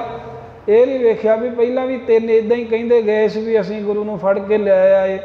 ਤਿੰਨਾਂ ਦਾ ਕੀ ਹਾਲ ਹੋਇਆ? ਪੈਦੇ ਖਾਨ ਦੇ ਨਾਲ ਆਪਣੀ ਤੁਸੀਂ ਫੌਜ ਭੇਜਤੀ ਆਪਣੇ ਜੰਗੀ ਜਰਨੈਲ ਜਿਹੜੇ ਹਨ ਉਹ ਗੁਰੂ ਕੋਲੋਂ ਮਰਵਾ ਬੈਠੇ ਹੋ। ਮਰਿਓ ਜਾਏ ਕੁਛ ਸਰੀ ਨ ਕਰ। ਉਹ ਆਪ ਦੇ ਨਿਮਖ ਹਰਾਮੀ ਪੈਂਦੇ ਖਾਨ ਵਜ਼ੀਰ ਖਾਨ ਕਹਿੰਦਾ ਸ਼ਾਹਜਹਾਨ ਜੀ ਮਾਰੀ ਗਿਆ।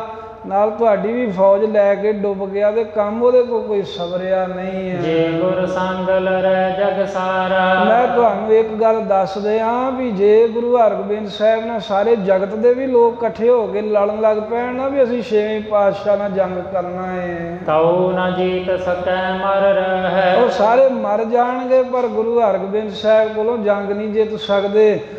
ਗੁਰੂ ਮਹਾਰਾਜ ਤਾਂ ਵੈਸੇ ਜੰਗ ਕਰਦੇ ਉਹਦੇ ਬਚਨ ਕਰਕੇ ਤੁਹਾਨੂੰ ਸਾਰਿਆਂ ਨੂੰ ਮਾਰ ਸਕਦੇ ਹਨ। ਕਹਾਂ ਬਾਤ ਤੁਮ ਲਸ਼ਕਰ ਹੈ ਕਹਾਂ ਬਾਤ ਤੁਮ ਲਸ਼ਕਰ ਹੈ हे ਸ਼ਾਹਜਹਾਂ ਜੀ ਤੁਹਾਡੀ ਫੌਜ ਦੀ ਕੀ ਗੱਲ ਹੈ?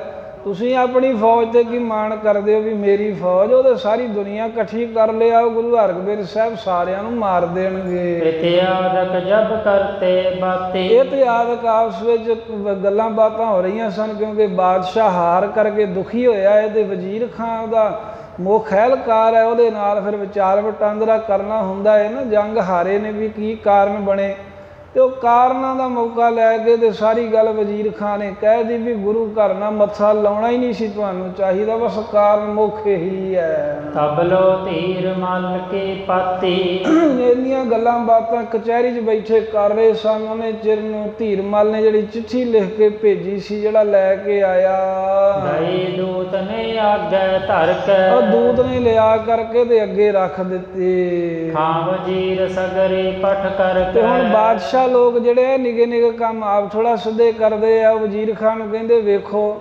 ਵਜ਼ੀਰ ਖਾਨ ਨੇ ਚੁੱਕੀ ਚਿੱਠੀ ਦੇ ਜਦੋਂ ਸਾਰੀ ਪੱਤਰਕਾ ਪੜ੍ਹ ਲਈ। ਬਿਸਮੈ ਭਇਓ ਕਹਾਂ ਇਨ ਕੀਨ। ਹਾਂ ਜਿਵੇਂ ਉਹਨੇ ਆਪਣਾ ਅਧੀਨਗੀ ਜੀ ਮੰਨੀ ਸੀ ਧੀਰਮਲ ਨੇ ਉਹ ਸਾਰਾ ਪੜ੍ਹ ਕੇ ਵਜ਼ੀਰ ਖਾਨ ਬੜਾ ਹੈਰਾਨ ਹੋਇਆ ਵੀ ਇਹਨੇ ਕੀ ਕੀਤਾ ਹੈ? ਗੁਰੂ ਮਹਾਰਾਜ ਦਾ ਪੁੱਤਰਾ ਇਹਦੀ ਮੱਤ ਮਾਰੀ ਗਈ ਹੈ। ਗੁਰ ਪੁੱਤਰਾਏ ਮ ਭਇਓ ਅਧੀਨ। ਉਧਰ ਗੁਰੂ ਹਰਗੋਬਿੰਦ ਸਾਹਿਬ ਜੀ ਦੀ ਮੈਂ ਵਡਿਆਈ ਕਰ ਰਿਹਾ ਤੇ ਸਤਿਗੁਰਾਂ ਨੇ ਤੁਰਕਾਂ ਦੀਆਂ ਫੌਜਾਂ ਦਾ ਨਾਸ਼ ਕਰ ਦਿੱਤਾ ਇਹ ਸ਼ਾਹਜਹਾਨ ਦੀਆਂ ਤੇ ਇਹ ਜਿਹੜਾ ਧੀਰਮਲ ਹੈ ਫਿਰ ਵੀ ਡਰਦਾ ਹੋਇਆ ਅਧੀਨ ਜੇ ਹੋ ਰਿਹਾ ਹੈ ਬਾਦਸ਼ਾਹ ਦਾ ਇਹ ਪੜ੍ਹ ਕੇ ਵਜ਼ੀਰ ਖਾਨ ਬੜਾ ਹੈਰਾਨ ਹੋਇਆ। ਨਹੀਂ ਸ਼ਾਹ ਕੋ ਬਨੇ ਸੁਨਾਵਨ। ਬੜਾ ਚੰਗਾ ਵਿਚਾਰਵਾਨ ਤੇ ਗੁਰੂ ਘਰ ਦਾ ਬੜਾ ਪ੍ਰੇਮੀ ਸੀ ਗੁਰੂ ਸਾਹਿਬ ਜੀ ਦੇ ਘਰ ਦਾ ਸਦਾ ਭਲਾ ਮੰਗਣ ਵਾਲਾ ਵਜ਼ੀਰ ਖਾਨ। ਇਹਨੇ ਚਿੱਠੀ ਪੜ੍ਹਦੇ ਲਈ ਜੋ ਕੁਝ ਉਹਨੇ ਲਿਖਿਆ ਸੀ ਪਰ ਉਹ ਪੜ੍ਹ ਕੇ ਬਾਦਸ਼ਾਹ ਨੂੰ ਨਹੀਂ ਸੁਣਾਈ ਗੱਲ। ਸੁਨ ਪੁਨ ਨ ਜੰਗ ਮਚਾਵ ਇਹ ਸੋਚ ਕਰਕੇ ਵੀ ਇਹ ਨਾ ਹੋਵੇ ਵੀ ਗੁਰੂ ਘਰ ਦੇ ਵਿੱਚ ਉਹ ਇਹ ਪੋਤਰਾ ਹੀ ਜਿਹੜਾ ਮੇਰੇ ਅਨੁਸਾਰੀ ਹੋ ਗਿਆ ਭੇਦ ਦੇਊਗਾ। ਤੇ ਇਹ ਸੁਣ ਕੇ ਸ਼ਾਹਜਹਾਨ ਫੇਰ ਨਾ ਕਿਤੇ ਜੰਗ ਕਰਨ ਲੱਗ ਪਏ ਵੀ ਚਲੋ ਗੁਰੂ ਵੱਲੋਂ ਵੀ ਅੱਧੇ ਕੁ ਮੇਰੇ ਵੱਲ ਹੋ ਜਾਣਗੇ। ਕਯੋ ਸ਼ਾਹ ਸੋ ਖਤਮ ਹੈ ਲਿਖੇ। ਹਾਂ ਕਹਿਓ ਸ਼ਾਹੋ ਸੋ ਖਤਮ ਹੈ ਲਿਖੇ। ਤੇ ਜਦੋਂ ਉਹਨੇ ਆਖਿਆ ਵੀ ਵਜ਼ੀਰ ਖਾਨ ਜੀ ਚਿੱਠੀ 'ਚ ਕੀ ਲਿਖਿਆ? ਤੇ ਵਜ਼ੀਰ ਖਾਨ ਸ਼ਾਹਜਹਾਨ ਨੂੰ ਕਹਿਣ ਲੱਗਾ ਜੀ ਬਾਦਸ਼ਾਹ ਸਲਾਮ ਨੂੰ ਚਿੱਠੀ ਇਹ ਲਿਖਿਆ ਹੈ। ਮਰਿਓ ਤੁਰੰਗ ਦੁਤੇ ਰਣ ਵਿਖੇ ਵੀ ਜਿਹੜੇ ਤੁਹਾਡੇ ਦੋ ਘੋੜੇ ਬਿਧੀ ਚੰਦ ਲੈ ਕੇ ਗਿਆ ਸੀ ਇੱਕ ਤਾਂ ਪਹਿਲਾਂ ਮਰ ਗਿਆ ਨਾ ਗੁਰੂ ਸਰ ਮਹਾਰਾਜ ਵਾਲੀ ਜੰਗ ਵਿੱਚ ਦੂਸਰਾ ਵੀ ਹੁਣ ਉਹ ਘੋੜਾ ਵੀ ਮਰ ਗਿਆ ਹੈ। ਕੌਣ ਭਰੇ ਖੱਲੜੇ ਉਹ ਸਵਾਸ ਤਾਂ ਕਹਿਣ ਲੱਗਾ ਜੀ ਵੇਖੋ ਇਹ ਕੀ ਪਤਾ ਜ਼ਿੰਦਗੀ ਦਾ ਹਵਾ ਦੇ ਨਾਲ ਭਰੀ ਹੋਈ ਏ ਜਿਹੜੀ ਚਮੜੀ ਜੀ ਦੇ ਅੰਦਰ ਜੇ ਹਵਾ ਜੀ ਫੂਕ ਜੀ ਭਰੀ ਹੈ ਨਾ ਸਰੀਰਾਂ ਦੇ ਅੰਦਰ ਇਹਦਾ ਕੀ ਭਰੋਸਾ ਹੈ? ਇਨਕੇ ਜੀਵਨ ਕਹਾਂ ਵਿਸਾਰ? ਆ ਇਹਨਾਂ ਦੇ ਜੀਵਨ ਦਾ ਕੀ ਵਿਸ਼ਵਾਸ ਹੈ ਵੀ ਕਦੋਂ ਇਹ ਠੀਕਰਾ ਜਾ ਭੱਜ ਜੇ ਦੇ ਅੰਦਰ ਦੀ ਫੂਕ ਜੀ ਹਵਾ ਜੀ ਨਿਕਲ ਜਾਵੇ? ਇਸ ਦੇ ਭੀ ਤੁਮ ਰੋਸ ਨਿਵਾਰੋ। ਆ ਇਹ ਹੈ ਵੀ ਸਾਚੀ ਸੀ ਘੋੜਾ ਤੇ ਦੂਜਾ ਵੀ ਚੜ੍ਹਾਈ ਕਰ ਹੀ ਗਿਆ ਪਰ ਵਜ਼ੀਰ ਖਾਨ ਨੇ ਗੁਰੂ ਘਰ ਨਾਲ ਵੈਰ ਜਿਹਾ ਖਤਮ ਕਰਨ ਦੇ ਲਈ ਆਪਣੇ ਕੋਲੋਂ ਹੀ ਕਹਿ ਦਿੱਤਾ ਵੀ ਚਿੱਠੀ 'ਚ ਲਿਖਿਆ ਹੈ ਵੀ ਘੋੜਾ ਦੂਸਰਾ ਵੀ ਤੁਹਾਡੇ ਵਾਲਾ ਮਰ ਗਿਆ ਹੈ।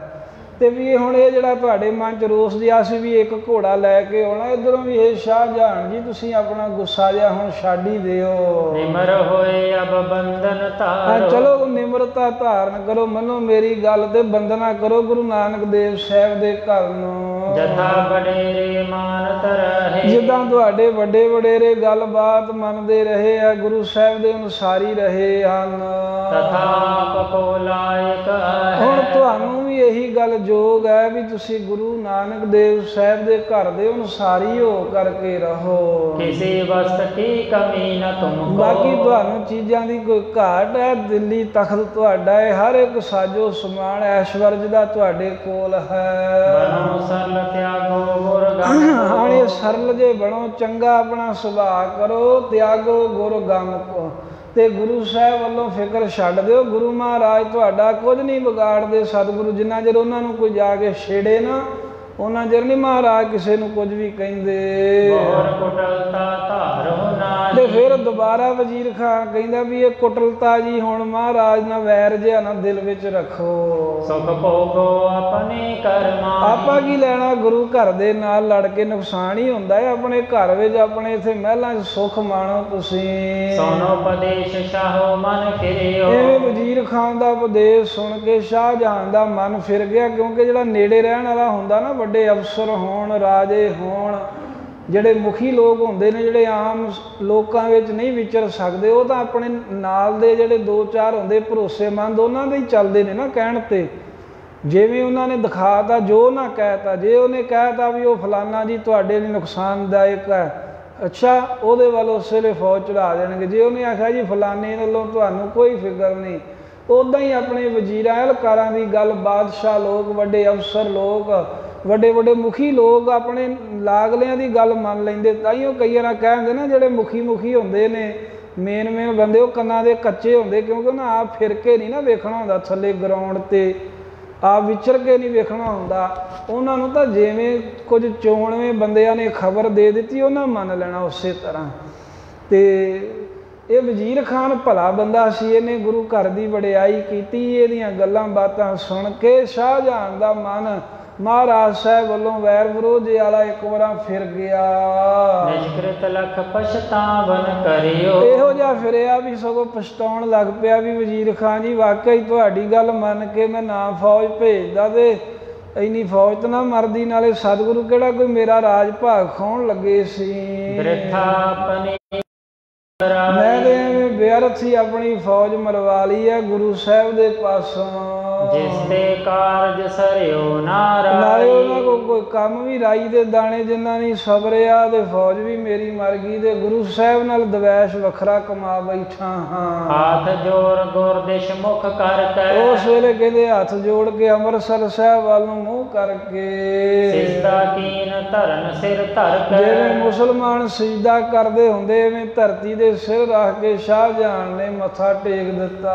ਅਬ ਮੈਂ ਦਰੋਹ ਨ ਤੁਮ ਸੰਗ ਕਰੋ। ਤੇ ਵੀ ਗੱਲ ਕਹਿਦੀ ਵੀ ਇਹ ਮਹਾਰਾਜ ਹੁਣ ਤੁਹਾਡੇ ਨਾਲ ਮੈਂ ਵੈਰ ਵਿਰੋਧ ਨਹੀਂ ਕੋਈ ਰੱਖਾਂਗਾ। ਜਬ ਲਗ ਪ੍ਰਾਨ ਦੇਹ ਮੈਂ ਧਰ। ਜਿੰਨਾ ਚਿਰ ਮੇਰੀ ਦੇਹੀ 'ਚ ਪ੍ਰਾਣ ਨੇ ਤੁਹਾਡੇ ਨਾਲ ਮੈਂ ਜੰਗ ਨਹੀਂ ਕਰਾਂਗਾ ਤੁਹਾਡੇ ਨਾਲ ਲੜਾਂ ਖਪਾਂਗਾ ਨਹੀਂ। ਪਾਛਲ ਬਾਤ ਸ਼ਿਮਾ ਸਭ ਕਰੀਏ। ਤੇ ਪਿਛਲੀਆਂ ਜਿਹੜੀਆਂ ਮਹਾਰਾਜ ਗੱਲਾਂ ਹੋ ਗਈਆਂ ਉਹ ਹੁਣ ਮਾਫ ਕਰ ਦਿਓ ਹੁਣ ਗੱਲ ਤਾਂ ਹੱਥ ਵਿੱਚ ਨਹੀਂ ਆਉਂਦੀ ਕਿਸੇ ਦੇ। ਮੋਹ ਪਰ ਕੋਪ ਮੋਹ ਪਰ ਨਹੀਂ ਕੋਪ ਕੋ ਤੇ ਧਰਿਏ ਮੇਰੇ ਉੱਤੇ ਸ਼ਾਹਜਹਾਨ ਕਹਿੰਦਾ ਕੋਈ ਕ੍ਰੋਧ ਗੁੱਸਾ ਨਾ ਤੁਸੀਂ ਰੱਖਿਓ। ਖਾਮ ਜੀਰ ਪਾਤੇ ਲਿਖ ਦੀਨ। ਇਧਰੋਂ ਵਜ਼ੀਰ ਖਾਨ ਨੇ ਵੀ ਜਿਹੜੀ ਉਹ ਚਿੱਠੀ ਆਈ ਸੀ ਧੀਰ ਮੱਲੋਂ ਧੀਰ ਮੱਲ ਨੇ ਭੇਜੀ ਆਪਣੇ ਵੱਲੋਂ ਹੀ ਉੱਤਰ ਦਿਆ ਵੀ ਉਹਦਾ ਲਿਖ ਕੇ ਵਾਪਸ ਭੇਜ ਦਿੱਤਾ। ਤੀਰ ਮਲ ਪਹਿ ਭੇਜਨ ਕੀਨ। ਹਾਂ ਧੀਰ ਮੱਲ ਨੂੰ ਕਰਤਾਰਪੁਰ ਉਸੇ ਦੂਤ ਹੱਥੋਂ ਪੱਤਰਕਾ ਭੇਜੀ ਹੈ। ਗੁਰ ਘਰ ਸੋ ਨਹਿ ਸ਼ਾਹੋ ਬਿਗਾਰ ਉਹਦੇ ਹੈ ਵਿੱਚ ਲਿਖ ਦਿੱਤਾ ਧੀਰ ਮੱਲ ਤੂੰ ਕਦ ਨਹੀਂ ਫਿਕਰ ਕਰਦਾ ਹੈ ਕਿ ਅਨੁਸਾਰੀ ਹੋਣਾ ਮੈਂ। ਗੁਰੂ ਹਰਗੋਬਿੰਦ ਸਾਹਿਬ ਦੇ ਨਾਲ ਸ਼ਾਹਜਹਾਨ ਵਿਗਾੜੇਗਾ ਨਹੀਂ ਮਹਾਰਾਜ ਨਾਲ ਲੜਾਈ ਝਗੜਾ ਨਹੀਂ ਕਰੇਗਾ। ਹੁਣ ਤੂੰ ਐ ਨਿਸ਼ਚਿੰਤ ਹੋ ਕੇ ਰਹਿ ਗੁਰੂ ਸਾਹਿਬ ਦੇ ਆਗਿਆ ਵਿੱਚ। ਬੰਧਨ ਕਰੀ ਭਇਓ ਅਨੁਸਾਰ ਹੈ। ਇਹ ਤਾਂ ਸਗੋਂ ਸ਼ਾਹਜਹਾਨ ਮਹਾਰਾਜ ਨੂੰ ਬੰਦਨਾ ਕਰ ਰਿਹਾ ਨਮਸਕਾਰਾਂ ਕਰਦਾ ਹੋਇਆ ਅਨੁਸਾਰੀ ਹੋ ਗਿਆ ਏ। ਲੈ ਕਰ ਹਲਕਾਰਾ ਟਿਕ ਆਇਓ। ਉਧਰ ਸ਼ਾਹਜਹਾਨ ਨੂੰ ਸਦਿਆਂ ਕਰ ਲਿਆ ਵਜ਼ੀਰ ਖਾਨ ਨੇ ਤੇ ਚਿੱਠੀ ਦੇ ਵਿੱਚ ਧੀਰਮਲ ਵਾਲੀ ਗੱਲ ਵੀ ਪ੍ਰਗਟ ਨਾ ਹੋਣ ਦਿੱਤੀ। ਸ਼ਾਹਜਹਾਨ ਕੋਲ ਤੇ ਆਪਣੇ ਕੋਲੋਂ ਹੀ ਗੁਰੂ ਦੀ ਵਡਿਆਈ ਫਿਰ ਲਿਖ ਕੇ ਭੇਜਤੀ ਵੀ ਸ਼ਾਹਜਹਾਨ ਤਾਂ ਆਪ ਗੁਰੂ ਅੱਗੇ ਮੱਥੇ ਟੇਕਦਾ, ਨਮਸਕਾਰਾਂ ਕਰਦਾ ਫਿਰਦਾ, ਤੂੰ ਕੀ ਸ਼ਾਹਜਹਾਨ ਦੀ? ਇਥੇ ਅਧੀਨਗੀ ਮੰਨਣੀ ਚਾਹੁੰਦਾ ਹੈ? ਕਰ ਧੀਰ ਮਲ ਪੜ ਕੇ ਧੀਰਮਲ ਬੜਾ ਖੁਸ਼ ਹੋਇਆ ਵੀ ਇਹਦੇ ਗੱਲ ਬਣ ਗਈ ਆ ਮੈਂ ਡਰੀ ਜਾਣਾ ਸੀ ਵੀ ਕਿਤੇ ਫੌਜ ਫੇਰ ਨਾ ਚੜ ਕੇ ਇੱਥੇ ਆਵੇ ਤੇ ਮੈਂ ਇਕੱਲਾ ਫਸ ਜਾਵਾਂ। ਸ਼ਾਹ ਦਿਸ਼ਾ ਇਸ ਬਿਦ ਕੀ ਬਾਤੀ ਇਸ ਤਰ੍ਹਾਂ ਸ਼ਾਹਜਹਾਨ ਵਾਲੇ ਪਾਸੇ ਸਾਧ ਸੰਗਤ ਲਾਹੌਰ ਵਿੱਚ ਸਾਰੀ ਗੱਲਬਾਤ ਹੋਈ ਜੰਗ ਦਾ ਪਤਾ ਲੱਗ ਗਿਆ। ਆਪ ਗੁਰ ਕਥਾ ਸੁਨੋ ਹੁਣ ਅਵਦਤੀ ਇਧਰ ਕਹਿੰਦੇ ਗੁਰੂ ਜਿਵੇਂ ਕੀਰਤਪੁਰ ਸਾਹਿਬ ਵਿੱਚ ਗੁਰੂ ਹਰਗੋਬਿੰਦ ਸਾਹਿਬ ਜੀ ਪ੍ਰਗਟ ਕੌਤਕ ਕਰ ਰਹੇ ਨੇ ਉਹ ਕਥਾ ਸੁਣੋ ਸਿਖੋ। ਕੀਰਤਪੁਰ ਕੋ ਅਦਕ ਵਸਾਇਓ ਮਹਾਰਾਜ ਸਾਹਿਬ ਨੇ ਇੱਥੇ ਰਹਿੰਦਿਆਂ ਹੋਇਆਂ ਜਿਹੜਾ ਬਾਬਾ ਗੁਰਦਿੱਤਾ ਜੀ ਨੇ ਨਗਰ ਪਹਿਲਾਂ ਹੀ ਸੋਹਣਾ ਵਸਾਇਆ ਸੀ ਉਹਦੀ ਵਸੋਂ ਹੋਰ ਵਧਾਤੀ ਹੋਰ ਲੋਕਾਂ ਨੂੰ ਲਿਆ ਲਿਆ ਕੇ ਘਰ ਬਣਾ ਬਣਾ ਕੇ ਮਹਾਰਾਜ ਦੇਣ ਲੱਗ ਪਏ। ਸਿੱਖ ਸੰਤਨ ਕੋ ਆਨੰਦ ਆ ਉਪਾਇਓ ਜਿੰਨੇ ਵੀ ਮਹਾਰਾਜ ਦੇ ਸਿੱਖ ਹੈ ਸੰਤ ਮਹਾਰਾਜ ਸਾਹਿਬ ਜੀ ਦੇ ਬੰਦਗੀ ਕਰਨ ਵਾਲੇ ਭਗਤ ਪਿਆਰੇ ਨੇ ਸਾਰਿਆਂ ਦੇ ਅੰਦਰ ਆਨੰਦ ਪੈਦਾ ਹੋ ਗਿਆ ਗੁਰੂ ਹਰਗੋਬਿੰਦ ਸਾਹਿਬ ਦੇ ਕੀਰਤਪੁਰੀ ਦੇ ਅੰਦਰ ਆਉਣ ਕਰਕੇ। ਕਬਹੁ ਜਾਏ ਗੁਰ ਕਰਹਿ ਅਖੀਰੈ। ਕਦੀ ਕਦੀ ਮਹਾਰਾਜ ਆਪਣੀ ਮੌਜ ਨਾਲ ਚਲੇ ਜਾਂਦੇ ਆ ਬਾਹਰ ਸ਼ਿਕਾਰ ਖੇਡਣ। ਹੋਏ ਬਿਹੰਗ ਮ੍ਰਿਗ ਮੁਕਤ ਤੇ ਕਨੇਰੇ ਅਨੇਕਾਂ ਹੀ ਪੰਛੀਆਂ ਜੀਵਾਂ ਦੀ ਮੁਕਤੀ ਕਰਦੇ ਨੇ ਬਸ ਜੀਵਾਂ ਦੀ ਕਲਿਆਣ ਕਰਨ ਲਈ ਮਹਾਰਾਜ ਜਾਂਦੇ ਹਨ। ਬਹੁ ਸੰਗਤ ਦਰਸ਼ਨ ਕੋ ਤੇ ਆਵੇ ਜਦੋਂ ਸਭ ਨੂੰ ਪਤਾ ਲੱਗ ਗਿਆ ਵੀ ਮਹਾਰਾਜ ਕੀਰਤਪੁਰ ਸਾਹਿਬ ਆ ਗਏ ਨੇ ਛੇਵੇਂ ਪਾਤਸ਼ਾਹ। ਪਹਾੜ ਦੇਸ਼ ਤੇ ਦੂਰ ਦੇਸ਼ਾਂ ਦੀਆਂ ਬਹੁਤੀਆਂ ਸੰਗਤਾਂ ਇੱਥੇ ਆਉਣ ਲੱਗ ਪਈਆਂ। ਤਨੀ ਮਸੰਦ ਦਰਬ ਬਹੁ ਲਿਆਵੈ ਉਹਦੇ ਜਿਹੜੇ ਮਸੰਦ ਬੜੇ ਬੜੇ ਧਨੀ ਬਹੁਤ ਗਰਾਈ ਜਿਨ੍ਹਾਂ ਕੀਤੀ ਸੀ ਉਹ ਗੁਰੂ ਘਰ ਦੀ ਕਾਰ ਭੇਟਾ ਲੈ ਕੇ ਪਹੁੰਚਦੇ ਹਨ। ਚਾਰ ਹੁੰਦੇ ਤੇ ਗੁਰ ਕੀ ਕਾਰ ਗੱਲ ਕੀ ਹੈ ਵੀ ਚਾਰ ਸਫੇਰੇ ਉੱਤਰ ਦੱਖਣ ਪੂਰਬ ਪੱਛਮ ਚੌਵਾਂ ਦਿਸ਼ਾਵਾਂ ਤੋਂ ਜੋ ਗੁਰੂ ਘਰ ਦਾ ਦਸਵੰਧ ਕਿਸੇ ਨੇ ਕੱਢਿਆ ਹੋਇਆ ਹੈ। ਨਿਤ ਪ੍ਰਤਿ ਆਵਹਿ ਦਰਬ ਉਧਾਰ ਉਹ ਬਹੁਤਾ ਹੀ ਧਨ ਨਿਤਾ ਪ੍ਰਤੀ ਵਾਰੀ ਵਾਰੀ ਜਿਵੇਂ ਜਿਵੇਂ ਕੋਈ ਕਿਸੇ ਨਗਰ ਤੋਂ ਕੋਈ ਕਿਸੇ ਨਗਰ ਤੋਂ ਮਸੰਦ ਸੰਗਤ ਲੈ ਕੇ ਪਹੁੰਚਦਾ ਹੈ। ਰਾਤ ਦਿਵਸ ਹੋਏ ਧੀਰਗ ਦੇਗ। ਰਾਤ ਦਿਨ ਲਗਾਤਾਰ ਬਹੁਤਾ ਵੱਡਾ ਲੰਗਰ ਚੱਲਦਾ ਗੁਰੂ ਸਾਹਿਬ ਜੀ ਦੇ ਦਰ ਤੇ। ਤਜਿਓ ਜੰਗ ਰਹਿ ਬਿਨ ਉਦਵੇਗ। ਹੁਣ ਮਹਾਰਾਜ ਸਾਹਿਬ ਜੀ ਜੰਗ ਸਤਿਗੁਰੂ ਜਾਣੀ ਜਾਣ ਹੈ ਵੀ ਹੁਣ ਨਹੀਂ ਆਉਂਦੀਆਂ ਫੌਜਾਂ ਮੂੰਹ ਮੋੜੇ ਗਏ ਨੇ। ਤੇ ਜੰਗ ਕਰਨ ਦਾ ਮਹਾਰਾਜ ਨੇ ਆਪਣੇ ਚੌਥੇ ਜਾਮੇ 'ਚ ਹੋਰ ਜਿਹੜਾ ਕੋਈ ਕਾਰਜ ਹੈ, ਉਹ ਹੁਣ ਤਿਆਗ ਹੀ ਦਿੱਤਾ। ਵੈਸੇ ਕਈਆਂ ਨੇ ਛੇ ਜੰਗ ਵੀ ਲਿਖੇ ਆ ਵੀ ਇੱਥੇ ਕੀਰਤਪੁਰ ਸਾਹਿਬ ਵੀ ਝੜਪ ਹੋਈ ਹੈ, ਇਤਿਹਾਸ ਬਹੁਤ ਹੈ ਤੇ ਛੇ ਵੀ ਮਹਾਰਾਜ ਸਾਹਿਬ ਨੇ ਕਰ ਲਏ ਹੋਣਗੇ ਵੀ ਕੋਈ ਵੱਡੀ ਗੱਲ ਨਹੀਂ ਸਾਡੇ ਪਾਤਸ਼ਾਹ ਵਾਸਤੇ। ਬਹੁਤੀਆਂ ਬਹੁਤੀਆਂ ਜੰਗਾਂ, ਜਿਵੇਂ ਦਸਵੇਂ ਪਾਤਸ਼ਾਹ ਦੀਆਂ 14 ਕਹਿੰਦੇ ਆ ਕਈਆਂ ਨੇ, ਉਹ 14 ਤੋਂ ਵੀ ਵਧੇਕ ਲਿਖੀਆਂ ਨੇ, ਕਿਉਂਕਿ ਛੋਟੀਆਂ ਮੋਟੀਆਂ ਝੜਪਾਂ ਦੇ ਅਨੇਕਾਂ ਹੀ ਹੁੰਦੀਆਂ ਰਹੀਆਂ, ਗੁਰੂ ਪੰਥ ਖਾਲਸੇ ਦੀਆਂ ਸਦਾ ਹੀ। ਤੇ ਇਹਨਾਂ ਹੈ ਵੀ ਵੱਡੇ ਵੱਡੇ ਜੰਗ ਹੋ ਸਕਦੇ ਆ, ਵੀ ਕਹਿ ਸਕਦੇ ਆ ਚਾਰ ਝੜਪਾਂ ਦਾ ਅਨੇਕਾਂ ਵਾਰੀ ਹੋਈਆਂ, ਜਿੱਥੇ ਕੋਈ ਕੋਈ ਦੁਸ਼ਟ ਟੱਕਰ ਗਿਆ, ਫਿਰ ਮਹਾਰਾਜ ਸਾਹਿਬ ਦੇ ਮਹਾਰਾਜ ਦੇ ਸਿੱਖ ਫਿਰ ਪਿੱਛੇ ਥੋੜਾ ਪੈਰ ਪਾਉਂਦੇ ਸੀ ਅਧੀਨਗੀ ਥੋੜਾ ਮੰਨਦੇ ਸੀ ਕਿਸੇ ਦੀ, ਜਾਂ ਕਿਸੇ ਰਾਜੇ ਦੇ ਅਧੀਨ ਹੋ ਕੇ ਚੱਲਦੇ, ਹੁਣ ਸਰਕਾਰਾਂ ਦੇ ਅਧੀਨ ਦਸੇ ਪਾਤਸ਼ਾਹ ਨਹੀਂ ਰਹੇ। ਤੇ ਮਹਾਰਾਜ ਦਾ ਖਾਲਸਾ ਵੀ ਨਹੀਂ ਕਦੀ ਰਿਹਾ, ਜਿਹੜਾ ਸਰਕਾਰਾਂ ਦੇ ਅਧੀਨ ਹੋ ਗਿਆ, ਗੁਰੂ ਦਾ ਖਾਲਸਾ ਵੀ ਕੀ ਹੈ? ਸੋ ਇਸ ਤਰ੍ਹਾਂ ਮਹਾਰਾਜ ਸਾਹਿਬ ਜੀ ਹੁਣ ਜੰਗ ਜੁੱਧ ਪਤਾ ਹੈ ਵੀ ਕਿੰਨੇ ਆਉਣਾ ਡਰਦੇ ਆ। ਜੰਗ ਜੁੱਧ ਵਾਲੇ ਪਾਸੇ ਨਹੀਂ ਖਿਆਲ ਰੱਖਦੇ ਹੁਣ। ਮੇਲਾ ਲਗਿਓ ਰਹੇ ਦਰਬਾਰ। ਗੁਰੂ ਸਾਹਿਬ ਦੇ ਦਰਬਾਰ ਵਿੱਚ ਰਾਤ ਦਿਨ ਬੜਾ ਭਾਰੀ ਜੋੜ ਮੇਲਾ ਲੱਗਾ ਰਹਿੰਦਾ ਏ। ਦਰਸ਼ਨ ਦੇਖੇ ਆਨੰਦ ਉਦਾਰ। ਜਿਹੜਾ ਵੀ ਮਹਾਰਾਜ ਦੇ ਦਰਸ਼ਨ ਕਰਦਾ ਏ ਬੜੇ ਆਨੰਦ ਦੇ ਵਿੱਚ ਆ ਜਾਂਦਾ। ਗੁਰੂ ਸਾਹਿਬ ਦੇ ਦਰਸ਼ਨਾਂ ਨਾਲ ਨਿਹਾਲ ਹੁੰਦੇ ਨੇ ਸਿੱਖ। ਕਥਾ ਕੀਰਤਨ ਦਿਨ ਪ੍ਰਤ ਹੋਏ। ਹਰ ਰੋਜ਼ ਕਥਾ ਹੁੰਦੀ ਹੈ ਮਹਾਰਾਜ ਦੇ ਦਰਬਾਰ ਵਿੱਚ ਕੀਰਤਨ ਹੁੰਦਾ ਏ। ਸੁਨ ਸੁਨ ਮਨ ਨਿਰਮਲ ਸਭ ਕੋਏ। ਤੇ ਜਿਹੜੇ ਗੁਰਸਿੱਖ ਸੁਣਦੇ ਨੇ ਕਥਾ ਸੁਣਦੇ ਨੇ ਕੀਰਤਨ ਉਹਨਾਂ ਦੇ ਮਨ ਵੀ ਨਿਰਮਲ ਹੋ ਰਹੇ ਹਨ।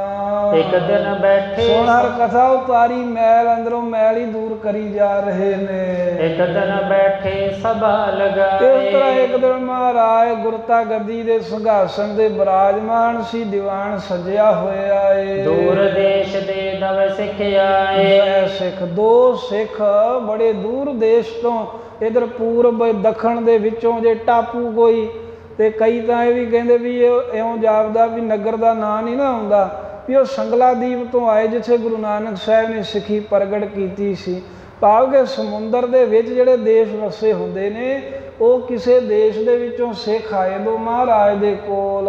ਤੇ ਕੀ ਸੰਗਤ ਲਿਖੀ ਅਰਦਾਸ। ਉਹ ਸਾਰੇ ਤਾਂ ਹੁਣ ਆ ਨਹੀਂ ਸੀ ਸਕਦੇ ਸਮੁੰਦਰ ਟੱਪ ਕੇ ਉੱਥੋਂ ਦੀ ਸੰਗਤ ਨੇ ਅਰਦਾਸ ਲਿਖ ਕੇ ਭੇਜੀ ਇੱਕ ਪੱਤਰਕਾ ਵਿੱਚ। ਪਹੁੰਚਾਈ ਸਤਗੁਰ ਕੇ ਤੇ ਪਾਸ ਗੁਰੂ ਹਰਗੋਬਿੰਦ ਸਾਹਿਬ ਜੀ ਦੇ ਕੋਲ ਉਹ ਦੋਵੇਂ ਸਿੱਖ ਲੈ ਕੇ ਆਏ ਕੀਰਤਪੁਰ ਸਾਹਿਬ ਉਹਨਾਂ ਚਿੱਠੀ ਪਹੁੰਚਾਈ ਕਰ ਹੈ ਬੰਧਨ ਤਰ ਦੀਨ ਅਗਾਰੀ। ਨਮਸਕਾਰ ਕਰਕੇ ਦੋਵਾਂ ਸਿੱਖਾਂ ਨੇ ਤੇ ਚਿੱਠੀ ਗੁਰੂ ਹਰਗੋਬਿੰਦ ਸਾਹਿਬ ਜੀ ਦੇ ਅੱਗੇ ਰੱਖ ਦਿੱਤੀ। ਖੋਲ ਸਪਟੀ ਹਕੀਕਤ ਸਾਰੀ? ਜਦੋਂ ਮਹਾਰਾਜ ਨੇ ਚਿੱਠੀ ਪੜ੍ਹੀ ਉਹਦੇ ਵਿੱਚ ਅਰਦਾਸ ਕੀਤੀ ਸੀ ਵੀ ਸਤਿਗੁਰੂ ਜੀ ਤੁਸੀਂ ਆਓ ਇੱਥੇ ਦਰਸ਼ਨ ਦਿਓ ਸਾਨੂੰ। ਤਾਂ ਸਾਰੀ ਹਕੀਕਤ ਅਸਲੀਅਤ ਜਾਣ ਕਰਕੇ ਸਤਿਗੁਰਾਂ ਨੇ। ਸ੍ਰੀ ਸਤਗੁਰ ਤੁਮ ਹੋ ਬਸ ਪ੍ਰੇਮ। ਮਹਾਰਾਜ ਸਾਹਿਬ ਜੀ ਤੁਸੀਂ ਪ੍ਰੇਮ ਦੇ ਵਾਸੋ ਤਾਂ ਬੇਨਤੀਆਂ ਲਿਖੀਆਂ ਸੰਗਤ ਨੇ। ਵੀ ਤੁਸੀਂ ਪ੍ਰੇਮ ਦੇ ਖਿੱਚੇ ਹੋਏ ਹਰ ਥਾਂ ਤੇ ਪਹੁੰਚ ਜਾਂਦੇ ਹੋ। ਪਹੁੰਚੋ ਸਿੱਖਾਂ ਢਿੱਗਦੇ ਹੋ ਛੇਮ। ਤੇ ਆਪ ਕਿਰਪਾ ਕਰਕੇ ਮਹਾਰਾਜ ਸਾਨੂੰ ਆਪਣੇ ਸਿੱਖ ਜਾਣ ਕੇ ਸਾਡੇ ਕੋਲ ਪਹੁੰਚੋ ਸਾਨੂੰ ਮੁਕਤੀ ਦਿਓ ਆ ਕਰਕੇ। ਇਹ ਸਭ ਦੇਸ਼ ਦਾਸ ਗੁਰ ਕੇਰਾ ਮਹਾਰਾਜ ਇਹ ਸਾਰਾ ਹੀ ਜਿਹੜਾ ਦੇਸ਼ ਹੈ ਨਾ ਟਾਪੂ ਹੈ ਸਾਰੇ ਹੀ ਤੁਹਾਡੇ ਦਾਸ ਨੇ ਤੁਹਾਨੂੰ ਹੀ ਮੰਨਦੇ ਹਨ। ਚਾਹਤ ਹੈ ਇਤ ਦਰਸ਼ਨ ਹੇਰਾ। ਤੇ ਹੁਣ ਮਹਾਰਾਜ ਸਾਰੇ ਹੀ ਤੁਹਾਡਾ ਇੱਥੇ ਦਰਸ਼ਨ ਕਰਨਾ ਚਾਹੁੰਦੇ ਨੇ ਵੀ ਤੁਸੀਂ ਆ ਕੇ ਸਾਨੂੰ ਦਰਸ਼ਨ ਦੇਵੋ। ਆਪਨੋ ਕਰ ਪਾਵਨ ਕੋ ਕਰੈ। ਤੇ ਸਾਰੇ ਚਾਹੁੰਦੇ ਐ ਵੀ ਤੁਹਾਡੇ ਚਰਨ ਜਿਹੜੇ ਹਨ ਪਵਾ ਕੇ ਆਪਣੋ ਘਰ ਆਪੋ ਆਪਣੇ ਘਰਾਂ 'ਚ ਤੁਹਾਡੇ ਚਰਨ ਪਵਾ ਕੇ ਘਰ ਪਵਿੱਤਰ ਕਰੀਏ ਅਸੀਂ। ਸੁਨ ਸਤਗੁਰ ਸ਼੍ਰੀ ਮੁਖ ਮੁਸਕਾਈ। ਬਰਾਬਰ ਕੇ ਪਾਵਨ ਜਬ ਪਰੈ ਜਦੋਂ ਮਹਾਰਾਜ ਤੁਹਾਡੇ ਚਰਨ ਸਾਡੇ ਘਰਾਂ 'ਚ ਪੈਣਗੇ ਘਰ ਪਵਿੱਤਰ ਹੋ ਜਾਣਗੇ। ਵੀ ਸੁਣ ਕੇ ਗੁਰੂ ਸਾਹਿਬ ਜੀ ਚਿੱਠੀ ਪੜ੍ਹ ਕੇ ਦੇ ਮੁਖਾਰ ਬੇਨ ਤੋਂ ਮੁਸਕਰਾਏ ਉਸ ਵੇਲੇ। ਦੇਸ਼ ਦੂਰ ਬਹੁ ਕੋ ਮਹਾਰਾਜ ਜਾਏ। ਕਹਿੰਦੇ ਵੀ ਬੜੀ ਦੂਰ ਦੇਸ਼ ਹੈ। ਹੁਣ ਸਾਰਾ ਦਲ ਬਲ ਲੈ ਕੇ ਜਾਣਾ ਬੜਾ ਮੁਸ਼ਕਲ ਹੋਵੇਗਾ। ਅਸੀਂ ਇਹਨਾਂ ਨੂੰ ਕੱਲਿਆਂ ਇੱਥੇ ਛੱਡ ਕੇ ਵੀ ਨਹੀਂ ਜਾ ਸਕਦੇ। ਵਿਧੀ ਚੰਦ ਕੀ ਦਿਸ਼ਾ ਤੇ ਨਿਹਾਰਾ ਮਹਾਰਾਜ ਨੇ ਉਸ ਵੇਲੇ ਆਪਣੇ ਥਾਂ ਦੇ ਆਪਣਾ ਹੀ ਰੂਪ ਬਣਾ ਕੇ ਬਾਬਾ ਵਿਧੀ ਚੰਦ ਜੀ ਨੂੰ ਭੇਜਣ ਦੇ ਲਈ ਵਿਧੀ ਚੰਦ ਜੀ ਵੱਲ ਵੇਖਿਆ। ਇਤ ਭੇਜਨ ਕੇ ਬਾਤ ਉਚਾਰ। ਤੇ ਮਹਾਰਾਜ ਨੇ ਭੇਜਣ ਵਾਸਤੇ ਵਚਨ ਕੀਤਾ ਵੀ ਵਿਧੀ ਚੰਦ ਜੀ ਤੁਸੀਂ ਸਾਡੇ ਥਾਂ ਤੇ ਜਾਓ। ਤੇ ਉਹ ਇਦਾਂ ਵੀ ਕਈ ਥਾਵਾਂ ਤੇ ਲਿਖਿਆ ਵੀ ਉਹਨਾਂ ਸਿੱਖਾਂ ਨੇ ਕਿਹਾ ਵੀ ਮਹਾਰਾਜ, ਅਸੀਂ ਤੇ ਤੁਹਾਡੇ ਦਰਸ਼ਨ ਕਰਨੇ ਆ, ਤੁਸੀਂ ਤਾਂ ਫਿਰ ਅੱਗੇ ਇਹਨੂੰ ਭੇਜ ਰਹੇ ਸਿੱਖ ਤੁਹਾਡਾ ਤੇ ਸਤਿਗੁਰਾਂ, ਕਹੇ ਇਹ ਗੱਲ ਨਾ ਕਿ ਉਹ ਸਾਡੇ 'ਚ ਤੇ ਵਿਧੀ ਚੰਦ ਦੇ ਵਿੱਚ ਫ਼ਰਕ ਕੋਈ ਨਹੀਂ ਸਾਡੇ ਸਿੱਖ ਸਾਡਾ ਹੀ ਰੂਪ ਨੇ। ਐਵੇਂ ਮਹਾਰਾਜ ਨੇ ਉਹਨਾਂ ਦੇ ਭਰੋਸਾ ਬਣਾਇਆ ਸੀ, ਉਹਨਾਂ ਅੰਦਰ ਸ਼ਰਧਾ ਪੈਦਾ ਕੀਤੀ ਸਤਿਗੁਰਾਂ ਨੇ। ਐਵੇਂ ਭੇਜਣ ਵਾਸਤੇ ਕਿਹਾ ਵੀ ਵਿਧੀ ਚੰਦ ਜੀ, ਤੁਸੀਂ ਤਿਆਰ ਹੋਵੋ। ਤੋਹੇ ਮੋਹੇ ਮੈਂ ਭੇਦ ਨ ਕੋਈ। ਕਿਉਂਕਿ ਤੇਰੇ ਵਿੱਚ ਤੇ ਮੇਰੇ ਵਿੱਚ ਕੋਈ ਭੇਦ ਨਹੀਂ ਹੈ ਫ਼ਰਕ ਨਹੀਂ ਹੈ ਕੋਈ ਗੁਰਸਿੱਖਾ। ਪਹੁੰਚੋ ਤਾਂ ਸਿਦਕ ਲਿਓ ਜੋਈ। ਤਾਂ ਜੋ ਵੀ ਸਿਦਕ ਹੈ ਉਸੇ ਤਰ੍ਹਾਂ ਪਹੁੰਚ ਗਏ ਉਹਨਾਂ ਦੇ ਸਿਦਕ ਅਨੁਸਾਰ ਕਿਰਪਾ ਕਰ ਦਿਓ। ਸਭ ਸੰਗਤ ਕੋ ਦਰਸ਼ਨ ਦੀਜੈ। ਸਾਰੀਆਂ ਸੰਗਤਾਂ ਨੂੰ ਸਾਡੇ ਵੱਲੋਂ ਜਾ ਕੇ ਦਰਸ਼ਨ ਦੀਦਾਰੇ ਦੇਵੋ। ਗੁਰ ਕੀ ਕਾਰ ਸੰਭਾਰ ਸੋ ਲੀਜੈ। ਤਾਂ ਜੋ ਵੀ ਉਹ ਭੇਟਾ ਦੇਣੀ ਚਾਹਣੋ ਸਭ ਸੰਭਾਲ ਕੇ ਤੁਸੀਂ ਲੈ ਆਇਓ। ਸੋਇ ਨਾ ਇਸ ਕੋ ਬਿਲਮ ਨ ਕਰੇ। ਮਹਾਰਾਜ ਦਾ ਹੁਕਮ ਮੰਨ ਕੇ ਦੇਰ ਨਹੀਂ ਕੀਤੀ ਬਹਾਦਰ ਬਾਬਾ ਵਿਧੀ ਚੰਦ ਜੀ ਨੇ। ਚਲਨ ਹੇਤ ਮਨਸਾ ਔਰ ਉਸ ਧਰੀ ਵੇਲੇ ਮਹਾਰਾਜ ਦੇ ਅੱਗੇ ਸੱਤ ਵਜਨ ਮਹਾਰਾਜ ਜਿਵੇਂ ਤੁਹਾਡੀ ਆਗਿਆ ਤੁਰ ਤੁਰਨ ਵਾਸਤੇ ਤਿਆਰ ਹੋ ਗਏ ਚਾਲਾ ਮਾਰਨ ਦੇ ਲਈ। ਚਰਨ ਕਮਲ ਕੋ ਬੰਧਨ ਕਰਤਾ ਬਸ ਉਸੇ ਵੇਲੇ ਮਹਾਰਾਜ ਦੇ ਚਰਨਾਂ ਦੇ ਮੱਥਾ ਟੇਕ ਕੇ ਵਿਧੀ ਚੰਦ ਜੀ। ਰਮਨਿਓ ਵਿਧੀ ਚੰਦ ਹਿਤ ਧਰਤ ਬੜਾ ਪ੍ਰੇਮ ਰੱਖ ਕੇ ਹਿਤ ਧਾਰਨ ਕਰਕੇ ਸ੍ਰੀ ਕੀਰਤਪੁਰ ਸਾਹਿਬ ਤੋਂ ਟਾਪੂ ਦੇ ਵਿੱਚ ਸਮੁੰਦਰ ਦੇ ਵਿੱਚ ਪਹੁੰਚਣ ਲਈ ਤੁਰੇ ਹਨ। ਦੋਹਰਾ ਅਜ਼ਮਤ ਦੇ ਸ਼੍ਰੀ ਸਤਗੁਰੂ। ਮਹਾਰਾਜ ਨੇ ਅਨੇਕਾਂ ਹੀ ਸ਼ਕਤੀਆਂ ਦੇ ਕਰਕੇ ਵਿਧੀ ਚੰਦ ਨੂੰ ਵਿਦਿਆ ਦਿਓ ਬਾਬਾ ਪਠਾਏ ਵਿਧੀ ਚੰਦ ਜੀ ਨੂੰ ਆਪਣੇ ਥਾਂ ਦੇ ਸੰਗਤਾਂ ਨੂੰ ਉਪਦੇਸ਼ ਦੇਣ ਵਾਸਤੇ ਭੇਜ ਦਿੱਤਾ। ਸਤਨਾਮ ਸ਼੍ਰੀ ਮੰਤਰ ਜਪ। ਗੁਰਾਂ ਦੀ ਕਿਰਪਾ ਨਾਲ ਹੁਣ ਪੈਂਡਾ ਦੇ ਬਹੁਤਿਆਂ ਮਹੀਨਿਆਂ ਦਾ ਸੀ ਤੇ ਚਿਰ ਲੱਗਣਾ ਸੀ ਉਹ ਸਤਿਗੁਰਾਂ ਦਾ ਧਿਆਨ ਧਰ ਕੇ ਤੇ ਮੁਖੋਂ ਕਿਹਾ ਸਤਨਾਮ ਸ੍ਰੀ ਵਾਹਿਗੁਰੂ। ਪਹੁੰਚਿਓ ਮਗ ਸਹਸਾ ਬਸ ਫੇਰ ਕੀ ਸੀ? ਛੇਤੀ ਦੇ ਨਾਲ ਹੀ ਬਹੁਤੀ ਮੰਜ਼ਲ ਤੈਅ ਕਰਕੇ ਬਾਬਾ ਵਿਧੀ ਚੰਦ ਜੀ ਇੱਕ ਨਗਰ ਵਿੱਚ ਪਹੁੰਚ ਗਏ। ਚੌਪਈ ਪੂਰਬ ਦੱਖਣ ਸੰਦ ਜਿਆ ਹਾਂ ਹੈ। ਇਹ ਪੂਰਬ ਦਿਸ਼ਾ ਦੇ ਦੱਖਣ ਦਿਸ਼ਾ ਦੀ ਜਿੱਥੇ ਇੱਕ ਸੰਧੀ ਹੈ ਨਾ ਜਿੱਥੇ ਇੱਕ ਦੋਵਾਂ ਦਾ ਮੇਲ ਹੁੰਦਾ ਹੈ ਦੇ ਵਿਚਕਾਰਲਾ ਜਿਹਾ ਜਿਹੜਾ ਹਿੱਸਾ ਮੰਨ ਲਓ ਵੀ ਦੱਖਣ ਤੇ ਪੂਰਬ ਦਾ। ਅਗਨ ਕੌਣ ਮਹਸੇ ਨਰ ਰਹਿ। ਹਾਂ ਜੋ ਅਗਨ ਕੌਣ ਵੀ ਕਹਿ ਦਿੰਦੇ ਆ ਉੱਥੇ ਉਹ ਸਾਰੇ ਰਹਿੰਦੇ ਸਨ ਗੁਰਸਿੱਖ ਪਿਆਰੇ ਜੋ ਚਾਹੁੰਦੇ ਸਨ ਦਰਸ਼ਨ। ਤਿਤ ਕੋ ਅਜ਼ਮਤ ਕੋ ਕਰ ਜ਼ੋਰ। ਉਧਰਲੇ ਪਾਸੇ ਨੂੰ ਇਹ ਸ਼ਕਤੀ ਦਾ ਜ਼ੋਰ ਕਰਕੇ। ਜਾਏ ਪਹੁੰਚਤ ਭਾਈ ਕਠੋਰ। ਇੱਕ ਮੰਜ਼ਲ ਰਾਹ ਦੇ ਵਿੱਚ, ਕਿਉਂਕਿ ਰਾਹ ਵਿੱਚ ਹੋਰ ਇੱਕ ਫਕੀਰ ਨਾਲ ਮਿਲਾਪ ਕਰਨਾ ਸੀ, ਬਾਬਾ ਵਿਧੀ ਚੰਦ ਜੀ ਨੇ ਸ਼ੇਰ ਦੀ ਕਲਿਆਣ ਕਰਨ ਦੇ ਲਈ। ਤੇ ਪਹਿਲਾਂ ਸਿੱਧਾ ਨਹੀਂ ਉੱਥੇ ਪਹੁੰਚੇ, ਟਾਪੂ ਦੇਸ਼ ਵਿੱਚ ਜਿੱਥੇ ਸੰਗਤਾਂ ਢੀਕ ਰਹੀਆਂ। ਪਹਿਲਾਂ ਇੱਕ ਆਪਣੀ ਨਾਮ ਸਿਮਰਨ ਦੀ ਸ਼ਕਤੀ ਦੇ ਨਾਲ ਇੱਕ ਨਗਰ ਦੇ ਨੇੜੇ ਪਹੁੰਚੇ ਹਨ ਇੱਕ ਥਾਂ ਵਿੱਚ। ਦਿਓ ਨਗਰ ਇਕ ਤਹਾਂ ਬਸੰਤਾ। ਹੁਣ ਨਾਮ ਨਗਰ ਦਾ ਯੂਪੀ ਦੇ ਵਿੱਚ ਹੈ। ਹੁਣ ਦਿਓ ਨਗਰ ਕਹਿੰਦੇ ਨੇ ਉੱਥੇ ਬਾਬਾ ਬਿਧੀ ਚੰਦ ਜੀ ਪਹੁੰਚੇ। ਸੁੰਦਰ ਸ਼ਾਹ ਫਕੀਰ ਰਹਿੰਦਾ ਉੱਥੇ ਬੜਾ ਇੱਕ ਬੰਦਗੀ ਵਾਲਾ ਸੁੰਦਰ ਸ਼ਾਹ ਨਾਮ ਦਾ ਫਕੀਰ ਰਹਿੰਦਾ ਸੀ ਵਸਦਾ ਸੀ ਉਸ ਨਗਰ ਦੇ ਜੰਗਲਾਂ ਵਿੱਚ। ਕਹਾ ਸ਼ੁਸ਼ਕਤਾ ਹੀਰਨ ਹੁਣ ਕਰਿਓ। ਉੱਥੇ ਪਹੁੰਚ ਕਰਕੇ ਬਾਬਾ ਬਿਧੀ ਚੰਦ ਜੀ ਨੇ ਜਣਾਉਣਾ ਸੀ ਵੀ ਮੈਂ ਇੱਥੇ ਆਇਆ ਵੀ ਪ੍ਰਗਟ ਗੱਲ ਕਰਨ ਦਾ ਢੰਗ ਇਹੀ ਵੇਖਿਆ ਵੀ ਇੱਕ ਸੁੱਕਾ ਦਰਖਤ ਸੀ ਜਿਹਦੇ ਪੱਤੇ ਟਹਿਣੀਆਂ ਸਭ ਕੁਝ ਸੁੱਕਾ ਹੋਇਆ ਹੈ। ਬੈਠ ਵਿਧੀ ਚੰਦ ਆਨੰਦ ਬਹਾਦਰ ਧਰਿਓ ਬਾਬਾ ਬਿਧੀ ਚੰਦ ਉਹ ਸੁੱਕੇ ਦਰਖਤ ਦੇ ਥੱਲੇ ਬੈਠ ਗਏ ਨਾਮ ਜਪਦੇ ਬੜੇ ਆਨੰਦ ਦੇ ਨਾਲ। ਹਰਿਓ ਹੋਤ ਪਾਸੋ ਤਤਕਾਲਾ ਤੇ ਉਸੇ ਵੇਲੇ ਜਿਵੇਂ ਗੁਰੂ ਸਾਹਿਬ ਜੀ ਦੀ ਬਾਣੀ ਕਹਿੰਦੀ ਹੈ ਸੂਕੇ ਹਰੇ ਕੀਏ ਖਿਨ ਮਾਹੀ ਬਸ ਸੂਕੇ ਕਾਸਟ ਹਰਿਆ। ਬਾਬਾ ਬਿਧੀ ਚੰਦ ਸਾਹਿਬ ਜੀ ਸੁੱਕੇ ਦਰਖਤ ਥੱਲੇ ਬੈਠੇ ਤੇ ਉਹਨਾਂ ਦੇ ਅੰਦਰ ਜੋ ਸ਼ਕਤੀਆਂ ਗੁਰੂ ਹਰਗੋਬਿੰਦ ਸਾਹਿਬ ਦੀਆਂ ਵਰਤ ਰਹੀਆਂ ਸਨ, ਜੋ ਨਾਮ ਦਾ ਪ੍ਰਵਾਹ ਚੱਲ ਰਿਹਾ ਸੀ, ਸਾਰਾ ਦਰਖਤ ਹਰਾ ਭਰਾ ਹੋ ਗਿਆ। ਪੱਤੇ ਨਿਕਲ ਆਏ ਟਹਿਣੀਆਂ ਹਰੀਆਂ ਹੋ ਆਈਆਂ। ਔਰ ਜਨ ਪੇਖ ਚੰਬ ਵਿਸਾਲਾ। ਨਗਰ ਦੇ ਲੋਕਾਂ ਵੇਖਿਆ ਵੀ ਆ ਰੁੱਖ ਤੇ ਬਾਹਰ ਜੇ ਸੁੱਕਾ ਜਿਹਾ ਸੀ ਸਾਰਾ ਹਰਾ ਭਰਾ ਕਿਵੇਂ ਹੋ ਗਿਆ ਹੈਰਾਨ ਹੋ ਗਏ। ਆਏ ਸਬਨ ਸੇਵਾ ਬੜ ਕੀਨ। ਤੇ ਸਾਰਿਆਂ ਨੇ ਬਾਬਾ ਵਿਧੀ ਚੰਦ ਜੀ ਨੂੰ ਕਰਨੀ ਵਾਲਾ ਕਮਾਈ ਵਾਲਾ ਜਾਣ ਕੇ ਆਏ ਸੇਵਾ ਕੀਤੀ ਨਮਸਕਾਰਾਂ ਕਰਨ ਲੱਗ ਪਏ ਦਿਓ ਨਗਰ ਦੇ ਲੋਕ। ਦੇਖੇ ਜਨ ਮਹਾਤਮਾ ਚੀਨ। ਤੇ ਇਸ ਤਰ੍ਹਾਂ ਜਾਣਿਆ ਵੀ ਇਹ ਬਹੁਤ ਹੀ ਵੱਡਾ ਕੋਈ ਮਹਾਤਮਾ ਹੈ ਬਹੁਤ ਬੰਦਗੀ ਵਾਲਾ ਹੈ। ਇਸ ਤਰ੍ਹਾਂ ਜਾਣ ਕੇ ਤੇ ਸਾਰਿਆਂ ਨੇ ਸਿਰ ਰੱਖਦਾ ਵਿਧੀ ਚੰਦ ਜੀ ਦੇ ਅੱਗੇ ਭਾਵ ਝੁਕ ਗਏ ਹਨ। ਨਾਮ ਤੇ ਸੇਵਾ ਦੇ ਗੁਰੂ ਦੀ ਸ਼ਕਤੀ ਅੱਗੇ। ਸੁੰਦਰ ਸ਼ਾਹ ਬਸੇ ਤਹ ਕੰਨ ਉਸੇ ਹੀ ਨਗਰ ਦੇ ਜੰਗਲਾਂ ਦੇ ਵਿੱਚ ਇੱਕ ਸੁੰਦਰ ਸ਼ਾਹ ਫਕੀਰ ਵਸਦਾ ਸੀ। ਸੁਨਤ ਭਇਓ ਮਹਿਮਾਇਓ ਹਾਂ ਕਾਨਨ ਜਦੋਂ ਉਹਨੂੰ ਪਤਾ ਲੱਗਾ ਨਾ ਜਾ ਕੇ ਕਿਸੇ ਦੱਸਤਾ ਉਹਦੇ ਵੀ ਸੇਵਕ ਨੇ ਜੀ ਸੁੰਦਰ ਸ਼ਾਹ ਜੀ ਇਹ ਤੇ ਇੱਕ ਫਕੀਰ ਇੱਥੇ ਆਇਆ ਉਹ ਸਾਰੇ ਨਗਰ ਦੇ ਲੋਕ ਤਾਂ ਉਹਦੇ ਪਿੱਛੇ ਹੋ ਗਏ ਆ। ਐਵੇਂ ਉੱਥੇ ਉਹ ਬੈਠਾ ਦਰਖਤ ਜਿਹਾ ਹਰਾ ਕਰਤਾ ਤੇ ਸਾਰੇ ਹੀ ਲੋਕ ਉਹਦੇ ਪਿੱਛੇ ਪੈ ਗਏ ਹਨ। ਮਹਾਪੁਰਖ ਏਕ ਆਵਨ ਕਰਿਓ। ਆਏ ਕਿਸੇ ਨੇ ਜਾ ਕਰਕੇ ਜੰਗਲ ਵਿੱਚ ਮਹਿਮਾ ਦੱਸੀ ਵੀ ਕੋਈ ਮਹਾਂਪੁਰਖ ਆਇਆ ਇੱਧਰ। ਇੱਥੇ ਅਨੰਦਪੁਰ ਸਾਹਿਬ ਕੀਰਤਪੁਰ ਸਾਹਿਬ ਵੱਲੋਂ ਪਹਾੜ ਦੇਸ਼ ਵੱਲੋਂ ਤਾਂ ਇੱਥੇ ਆ ਕੇ ਉਹਨੇ ਦਰਖਤ ਹਰਾ ਕਰ ਦਿੱਤਾ ਏ। ਬੈਠਕ ਸ਼ੁਸ਼ਕ ਬ੍ਰਿਸ਼ ਪਾਹਰਿਓ। ਆ ਉਹਦੇ ਬੈਠਣ ਕਰਕੇ ਵੇਖੋ ਸੁੱਕਾ ਰੋਕੀ ਹਰਾ ਭਰਾ ਹੋ ਗਿਆ ਗੱਲ। ਜਾ ਕੇ ਸੁੰਦਰ ਸ਼ਾਹ ਫਕੀਰ ਨੂੰ ਦੱਸੀ ਕਿਸੇ ਨੇ। ਬਿਸਮਤ ਹੋਏ ਹੀਰਨ ਕੋ ਚਾਹ ਤੇ ਅਚਰਜ ਹੋਇਆ ਹੈਰਾਨ ਹੋਇਆ ਵੇਖਣ ਦੇ ਵਾਸਤੇ ਚੱਲ ਪਿਆ। ਦੂਜਾ ਫਕੀਰ ਜਿਹੜੇ ਬੰਦਗੀ ਕਰਦੇ ਆ ਨਾ ਇਹ ਤਾਂ ਰਾਹ ਅੜ ਜਾਂਦੇ ਕਈ ਇਹਨਾਂ 'ਚ ਵੀ ਇੱਕ ਹੁੰਦਾ ਵੀ ਜਿੱਥੇ ਮੇਰੀ ਵਡਿਆਈ ਹੋ ਰਹੀ ਉੱਥੇ ਦੂਜਾ ਕਿਵੇਂ ਕੋਈ ਆ ਜਾਵੇ। ਇਹੋ ਜੀ ਵੀ ਭਾਵਨਾ ਲੈ ਕੇ ਵੇਖਣ ਲਈ ਵੀ ਵੇਖੀਏ ਕਿੱਡਾ ਕੁ ਫਕੀਰ ਹੈ ਆ ਗਿਆ। ਕੇ ਹਰੇਕ ਹਕਾਰਿਓ ਪਾਹਾ ਆਪਣੀ ਵੀ ਹੁਣ ਸ਼ਕਤੀ ਵਿਖਾਉਣੀ ਸੀ ਵੀ ਮੈਂ ਵੀ ਜਾ ਕੇ ਵਿਖਾਵਾਂ ਵੀ ਤੂੰ ਰੋਖ ਹਰਾ ਕਰਦਾ ਕੋਈ ਵੱਡਾ ਸੰਤ ਨਹੀਂ ਹੈ ਮੈਂ ਵੀ ਬੜਾ ਵੱਡਾ ਮਹਾਤਮਾ ਇਹ ਵਿਖਾਉਣ ਦੇ ਲਈ ਇੱਕ ਕਿਹੜੀ ਸ਼ੇਰ ਨੂੰ ਆਵਾਜ਼ ਮਾਰੀ? ਹੋਏ ਅਰੂਢ ਵਿਦਿਏ ਟਿਗ ਤੇ ਆਇਓ ਕਿਹੜੀ ਸ਼ੇਰ ਦੇ ਉੱਤੇ ਸੁੰਦਰ ਸਾਹ ਸਵਾਰ ਹੋ ਕਰਕੇ ਬਾਬਾ ਵਿਧੀ ਚੰਦ ਜੀ ਦੇ ਨੇੜੇ ਆਇਆ?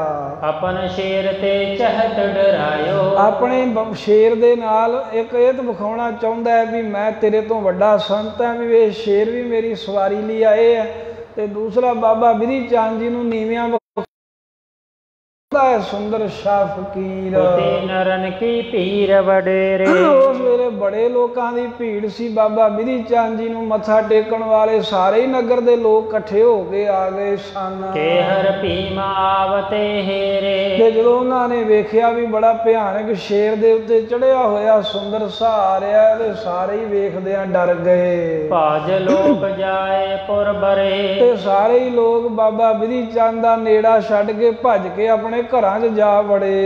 ਵਿਧੀ ਚੰਦ ਇੱਕ ਥਿਰਤਾ ਧਰੇ। ਪਰ ਬਾਬਾ ਵਿਧੀ ਚੰਦ ਜੀ ਉੱਥੇ ਹੀ ਟਿਕੇ ਰਹੇ ਚੌਂਕੜਾ ਮਾਰ ਕੇ ਉਹ ਨਹੀਂ ਡਰੇ ਸ਼ੇਰ ਤੋਂ। ਸੁੰਦਰ ਸ਼ਾਹ ਨਿਕਟ ਜਬ ਆਇਓ।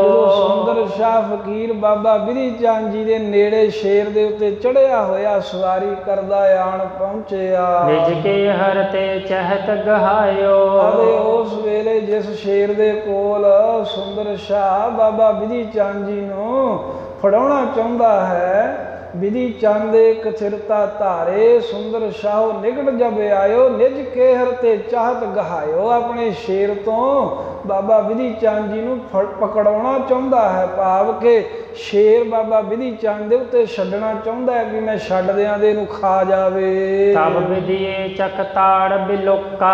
ਉਸ ਵੇਲੇ ਬਾਬਾ ਵਿਧੀ ਚੰਦ ਜੀ ਨੇ ਜਿਹੜੇ ਨੇਤਰ ਲਾਲ ਜੇ ਕਰਕੇ ਨੇਤਰਾਂ ਦੀ ਘੂਰੀ ਦੇ ਨਾਲ ਸ਼ੇਰ ਵੱਲ ਤੱਕਿਆ ਆਵਤ ਚਲਿਓ ਤੁਰੰਤ ਹੀ ਰੁਕਿਆ। ਜਿਹੜਾ ਅੱਗੇ ਨੂੰ ਸ਼ੇਰ ਚੜਦਾ ਆਉਂਦਾ ਸੀ ਬਾਬਾ ਵਿਧੀ ਚੰਦ ਸਾਹਿਬ ਦੇ ਨੇਤਰਾਂ ਦੀ ਲਾਲੀ ਤੇ ਘੂਰੀ ਵੇਖ ਕੇ ਅੱਖਾਂ ਦੇ ਇਸ਼ਾਰੇ ਦੇ ਨਾਲ ਹੀ ਉੱਥੇ ਰੁਕ ਗਿਆ ਇੱਕ ਥਾਂ ਤੇ। ਭਇਓ ਸਥੰਭ ਸਿਲਾ ਸਮ ਸ਼ੇਰ। ਉਹ ਬਥੇਰਾ ਉਹਨੂੰ ਸੁੰਦਰ ਸ਼ਾਹ ਅੱਗੇ ਨੂੰ ਹਿਲਾਉਂਦਾ ਹੈ ਪਰ ਸ਼ੇਰ ਐਵੇਂ ਇੱਕ ਥਾਂ ਖਲੋ ਗਿਆ ਜਿਵੇਂ ਪੱਥਰ ਦੀ ਮੂਰਤ ਹੋਵੇ। ਚਰਨ ਬਦਨ ਹਾਲਤ ਨਹਿ ਫੇਰ। ਨਾ ਪੈਰ ਹਿਲਦੇ ਐ ਨਾ ਚਿਹਰਾ ਹਿਲਦਾ ਹੈ ਬਸ ਫੇਰ ਹਿੱਲਿਆ ਨਹੀਂ ਜਦੋਂ ਇੱਕ ਵਾਰ ਵਿਧੀ ਚੰਦ ਜੀ ਨੇ ਵੀਰ ਅਸੀਂ ਨੇਤਰਾਂ ਦੀ ਘੂਰੀ ਨਾਲ ਸ਼ੇਰ ਵੱਲ ਤੱਕ ਲਿਆ।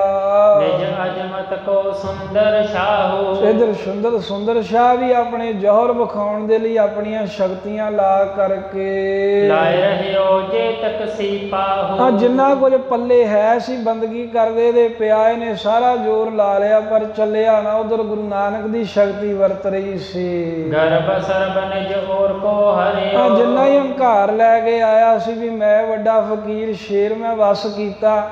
ਬਾਬਾ ਵਿਰੀ ਚੰਦ ਸਾਹਿਬ ਜੀ ਨੇ ਇਹਨੂੰ ਇਹ ਜਣਾਉਣ ਲਈ ਵੀ ਤੂੰ ਤਾਂ ਸ਼ੇਰ ਦੇ ਚੜ ਕੇ ਆ ਰਿਹਾ ਸੀ, ਤੇਰੇ ਸ਼ੇਰ ਨੂੰ ਪੱਥਰ ਕਰ ਸਕਦੇ ਐ, ਅੱਖਾਂ ਦੀ ਘੂਰੀ ਦੇ ਨਾਲ। ਉਹ ਸਾਰਾ ਹੀ ਆਪਣਾ ਜ਼ੋਰ ਜਾਲ ਜਿਹਾ ਲਾ ਕੇ ਸੁੰਦਰ ਸ਼ਾਹ ਦਾ ਹੰਕਾਰ ਜਿਹਾ ਉਹੀ ਦੂਰ ਜਿਹਾ ਹੋ ਗਿਆ, ਜਿਹੜੀ ਹਵਾ ਜੀ ਭਰੀ ਸੀ ਨਾ, ਮੈਂ ਮੈਂ ਦੀ। ਉਹ ਝੱਟ ਅੰਦਰੋਂ ਫੁੱਸ ਹੋ ਕੇ ਨਿਕਲ ਗਈ। ਬੜੋ ਆਪਣੇ ਤੇ ਲਖ ਪਰਿਓ ਆਪਣੇ ਤੋਂ ਵੱਡਾ ਜਾਣ ਕਰਕੇ ਵੀ ਇਹ ਮੇਰੇ ਤੋਂ ਕੋਈ ਵੱਡਾ ਬੰਦਗੀ ਵਾਲਾ ਸੰਤ ਆਇਆ ਹੈ। ਜਾਏ ਬੰਦਨਾ ਕੀ ਨ ਸੁੰਦਰ ਅਗਾਈ ਸ਼ਾਹ ਫਕੀਰ ਨੇ ਜਿਹੜਾ ਪਹਿਲਾਂ ਵਿਧੀ ਚੰਦ ਜੀ ਨੂੰ ਸ਼ੇਰ ਨਾਲ ਡਰਾਉਣਾ ਚਾਹੁੰਦਾ ਸੀ ਹੁਣ ਸ਼ਕਤੀ ਵੇਖ ਕੇ ਜਾ ਕੇ ਚਰਨਾਂ ਦੇ ਸਿਰ ਰੱਖ ਦਿੱਤਾ।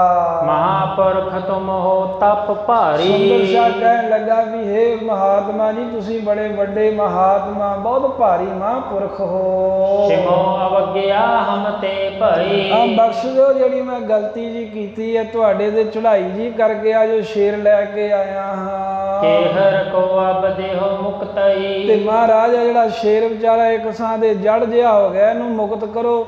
ਉਹਦੇ ਕਹਿਣ ਦਾ ਤੇ ਭਾਵ ਸੀ ਵੀ ਇਹਨੂੰ ਫੇਰ ਪੱਥਰ ਤੋਂ ਇਹ ਜੀਵਤ ਹਾਲਤ ਦੇ ਵਿੱਚ ਕਰ ਦਿਓ ਤਬ ਵਿਦਿਆ ਕਹਿ ਜਤਨ ਗਹੀਰ। ਉਸ ਵੇਲੇ ਬਾਬਾ ਵਿਧੀ ਚੰਦ ਸਾਹਿਬ ਜੀ ਨੇ ਬੜੇ ਭਾਰੀ ਯਤਨ ਦਾ ਬਚਨ ਕਿਹਾ। ਸਤਨਾਮ ਕਹਿ ਸ਼ਿਰ ਕੋ ਨੀਰ। ਕਹਿਣ ਲੱਗੇ ਜਾਓ ਫਕੀਰ ਜੀ ਪਣ ਪਾਣੀ ਲੈ ਕੇ ਤੇ ਮੁਖੋਂ ਕਹੋ ਸਤਨਾਮ ਸ੍ਰੀ ਵਾਹਿਗੁਰੂ ਤੇ ਜਦੋਂ ਸਤਨਾਮ ਸ੍ਰੀ ਵਾਹਿਗੁਰੂ ਕਹਿਣਾ ਉਸੇ ਵੇਲੇ ਜਲ ਛਿੜਕ ਦੋ ਸ਼ੇਰ ਦੇ ਉੱਤੇ।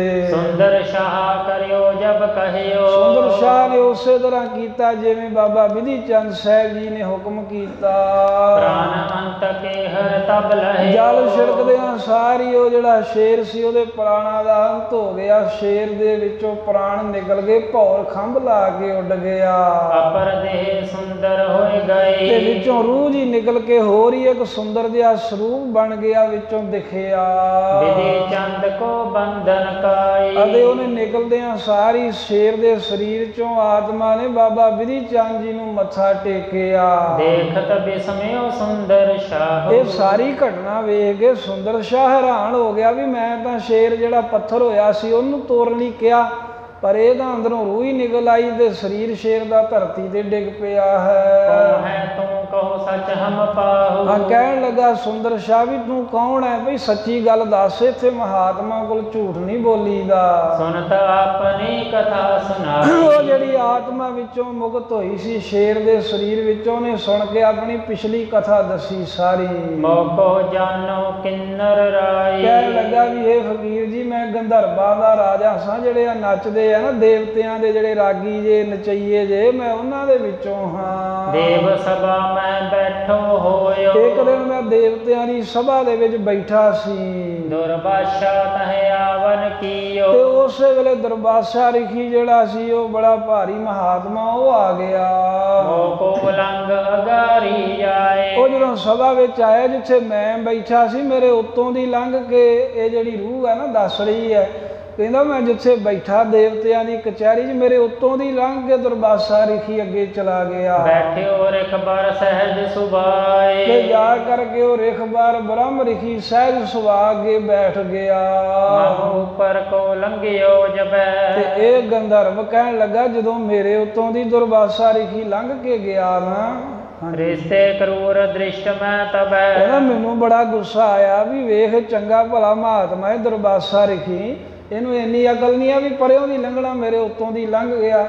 ਉਸ ਵੇਲੇ ਗੰਧਰਵ ਕਹਿੰਦਾ ਮੈਨੂੰ ਵੀ ਗੁੱਸਾ ਆ ਗਿਆ ਤੇ ਜਿਵੇਂ ਗੁੱਸੇ ਜੇ ਦੇ ਨਾਲ ਕਿਸੇ ਨੂੰ ਬੜੀਆਂ ਕੈੜੀ ਜੀ ਅੱਖਾਂ ਦੇ ਨਾਲ ਭੈੜੀ ਜੀ ਨਿਗਾਹ ਨਾਲ ਵੇਖੀਦਾ ਤੇ ਮੈਂ ਵੀ ਵੇਖਣ ਲੱਗ ਪਿਆ ਗੁੱਸੇ ਕਰਕੇ। ਦੁਰਬਾਸ਼ੇ ਜਬ ਕੋ ਹੀਰਾ ਤੇ ਉਧਰ ਦਰਬਾਸ਼ਾ ਰਿਖੀ ਜਿਹੜਾ ਸੀ ਉਹ ਕਿਹੜਾ ਘੱਟ ਸੀ? ਬੰਦਗੀ ਤੇ ਬੜੀ ਕੀਤੀ ਪਰ ਸ਼ਰਾਬ ਬੜੀ ਛੇਤੀ ਦਿੰਦਾ ਸੀ ਜਿਹਨੂੰ ਕਿਨੂੰ ਨਹੀਂ। ਤੇ ਦਰਬਾਸ਼ਾ ਰਿਖੀ ਜਿਹੜਾ ਜਦੋਂ ਇਹ ਗੰਧਰਵ ਕਹਿੰਦਾ ਮੈਂ ਉਹਦੇ ਵੱਲ ਗੁੱਸੇ ਨਾਲ ਵੇਖ ਰਿਹਾ ਤੇ ਉੱਥੋਂ ਬੈਠੇ ਹੋਏ ਨੇ ਦਰਬਾਸ਼ੇ ਰਿਖੀ ਨੇ ਜਦੋਂ ਮੇਰੇ ਵੱਲ ਨੂੰ ਨਿਗਾਹ ਮਾਰੀ। ਕਰੂਰ ਬਿਲੋਚਨ ਬਦਨ ਬਡੇਰਾ ਉਹਨੇ ਵੇਖਿਆ ਵੀ ਮੇਰਾ ਚਿਹਰਾ ਬੜਾ ਕਰੂਰ ਹੋਇਆ ਹੈ ਮੱਥੇ ਦੇ ਵੱਟ ਪਏ ਐ ਅੱਖਾਂ ਜਿਹੜੀਆਂ ਦੰਦੀਆਂ ਪੀਚ ਰਿਆਂ ਐ ਤੇ ਜਿਵੇਂ ਦੰਦੀਆਂ ਜੀਆਂ ਪੀਚ ਕੇ ਕੋਈ ਕਿਸੇ ਵੱਲ ਨੂੰ ਕੋਈ ਬੋਲੇ ਕੁਝ ਤੇ ਉਹ ਗੰਧਰਵ ਕਹਿਣ ਲੱਗਾ ਵੀ ਮੈਂ ਜਦੋਂ ਇਸ ਤਰ੍ਹਾਂ ਵੇਖ ਰਿਹਾ ਸੀ ਦਰਬਾਸੇ ਰਿਖੀ ਵੱਲ ਤੇ ਉਹਨੇ ਜਦੋਂ ਮੇਰੇ ਵੱਲ ਵੇਖਿਆ ਵੀ ਇਹਨੇ ਬੜਾ ਗੁੱਸੇ ਵਾਲਾ ਸਰੀਰ ਬਣਾਇਆ ਏ। ਤਪਨ ਕਰੋ ਦੇ ਸ਼ਰਾਪ ਬਖਾਨਾ। ਉਦੋਂ ਦਰਬਾਸਾ ਕਿਹੜਾ ਘੜ ਸੀ ਉਹ ਕ੍ਰੋਧ ਵਿੱਚ ਆ ਕੇ ਕ੍ਰੋਧ ਬੜੇ ਛੇਤੀ ਆਉਂਦਾ ਸੀ ਦਰਬਾਸੇ ਰਿਖੀ ਨੂੰ।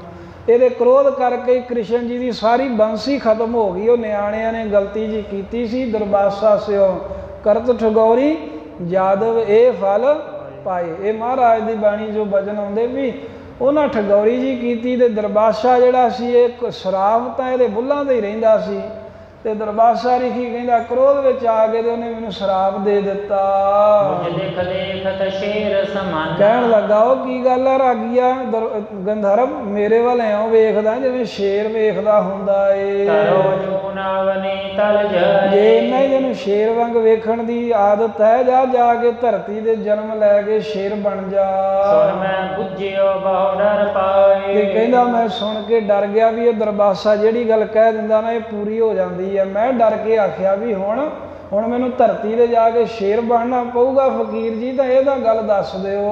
ਸ਼ਰਾਪਾਂਤ ਕਬ ਹੋਵੇ ਆਹ ਮੇਰਾ ਸ਼ਰਾਬ ਤੇ ਦੇ ਦਿੱਤਾ ਇਹ ਮੈਂ ਮੁੜ ਕੇ ਕਦੋਂ ਇੱਥੇ ਆਵਾਂਗਾ ਇੰਦਰਪੁਰੀ ਦੇ ਵਿੱਚ ਸਵਰਗਾਂ ਵਿੱਚ ਇਹ ਵੀ ਤਾਂ ਦੱਸੋ ਫੇਰ। ਕਿਰਪਾ ਕਰਤ ਬੋਲਿਓ ਤੇ ਸਵੇਰਾ ਤੇ ਉਸ ਵੇਲੇ ਫਿਰ ਕਹਿੰਦੇ ਵੀ ਜਦੋਂ ਮੈਂ ਹੱਥ ਜੇ ਜੋੜੇ ਤੇ ਉਹ ਥੋੜਾ ਜਿਹਾ ਕਿਰਪਾ ਜੀ ਕਰਕੇ ਤੇ ਦਰਬਾਸਾ ਰਿਖੀ ਕਹਿਣ ਲੱਗਾ। ਸ੍ਰੀ ਗੁਰੂ ਨਾਨਕ ਕਲ ਅਵਤਾਰੇ। ਕਿ ਕਲਯੁਗ ਦੇ ਸਮੇਂ 'ਚ ਪਰਮੇਸ਼ਰ ਗੁਰੂ ਨਾਨਕ ਰੂਪ ਆਪ ਆਉਣਗੇ ਜਗਤ ਵਿੱਚ। ਸੋ ਜਬ ਖਸ਼ਟਮ ਬਪ ਕੋ ਫਿਰ ਧਾਰੇ ਉਹਨਾਂ ਇਹ ਕਿਹਾ ਦਰਬਾਸੇ ਨੇ ਮੈਨੂੰ ਵੀ ਉਹ ਜਦੋਂ ਛੇਵਾਂ ਸਰੂਪ ਧਾਰਨਗੇ ਧਰਤੀ ਦੀ ਕਲਿਆਣ ਵਾਸਤੇ। ਤਿਸ ਕੋ ਸਿਖ ਗਿਆਨੀ ਇਕ ਦੇ ਉਹਨਾਂ ਦਾ ਇੱਕ ਬ੍ਰਹਮ ਗਿਆਨੀ ਸਿੱਖ ਆਵੇਗਾ ਉਹਦੀ ਦ੍ਰਿਸ਼ਟੀ ਜਦੋਂ ਤੇਰੇ ਤੇ ਪਵੇਗੀ। ਤਬ ਮੁਕਤੈ ਗੋ ਸ਼ਰਾਪ ਅਵਸ਼ੇ ਤਦੋਂ ਫਿਰ ਜਿਹੜਾ ਤੈਨੂੰ ਵਿਸ਼ੇਸ਼ ਸ਼ਰਾਬ ਮਿਲਿਆ ਨਾ ਸ਼ੇਰ ਦੀ ਜੂਨ ਪੈਣ ਦਾ ਉਦੋਂ ਮੁਕਤ ਹੋ ਕੇ ਤੇ ਫਿਰ ਆਪਣੀ ਪੁਰੀ ਇੰਦਰਪੁਰੀ ਵਿੱਚ ਆ ਜਾਵੇਂਗਾ। ਸੋਏ ਮਿਲਿਓ ਜੂਨ ਛੁਟ ਮੇਰੀ। ਤੇ ਸੁੰਦਰ ਸ਼ਾਹ ਨੂੰ ਉਹ ਆਤਮਾ ਕਹਿਣ ਲੱਗੀ ਵੀ ਉਹ ਬ੍ਰਹਮ ਗਿਆਨੀ ਗੁਰੂ ਨਾਨਕ ਗੁਰੂ ਹਰਗੋਬਿੰਦ ਸਾਹਿਬ ਦਾ ਸਿੱਖ ਹੈ। हे ਫਕੀਰ ਜੀ ਜਿਹਦੇ ਤੁਸੀਂ ਦਰਸ਼ਨ ਕਰ ਰਹੇ ਹੋ ਬਾਬਾ ਬਿਧੀ ਚੰਦ ਮੈਂ ਅਪਗਮਨੋ ਦਰਸ਼ਨ ਹੇਰੀ। ਇਹਨਾਂ ਦੀ ਕਿਰਪਾ ਨਾਲ ਮੇਰੀ ਜੂਨੀ ਛੁੱਟ ਗਈ। ਹੁਣ ਮੈਂ ਦਰਸ਼ਨ ਕਰਕੇ ਤੇ ਆਪਣੀ ਇੰਦਰਪੁਰੀ ਨੂੰ ਸਵਰਗਪੁਰੀ ਨੂੰ ਵਾਪਸ ਜਾਵਾਂਗਾ। ਤਨ ਭਾਗ ਤੂੰ ਆਪਣੇ ਜਾਨ ਤੇ ਸੁੰਦਰ ਸ਼ਾਹ ਨੂੰ ਕਹਿਣ ਲੱਗਾ ਵੀ ਐਵੇਂ ਕ੍ਰੋਧ ਜਿਹਾ ਨਾ ਕਰ ਆਪਣੇ ਤੋਂ ਵੱਡੇ ਭਾਗ ਜਾਣ।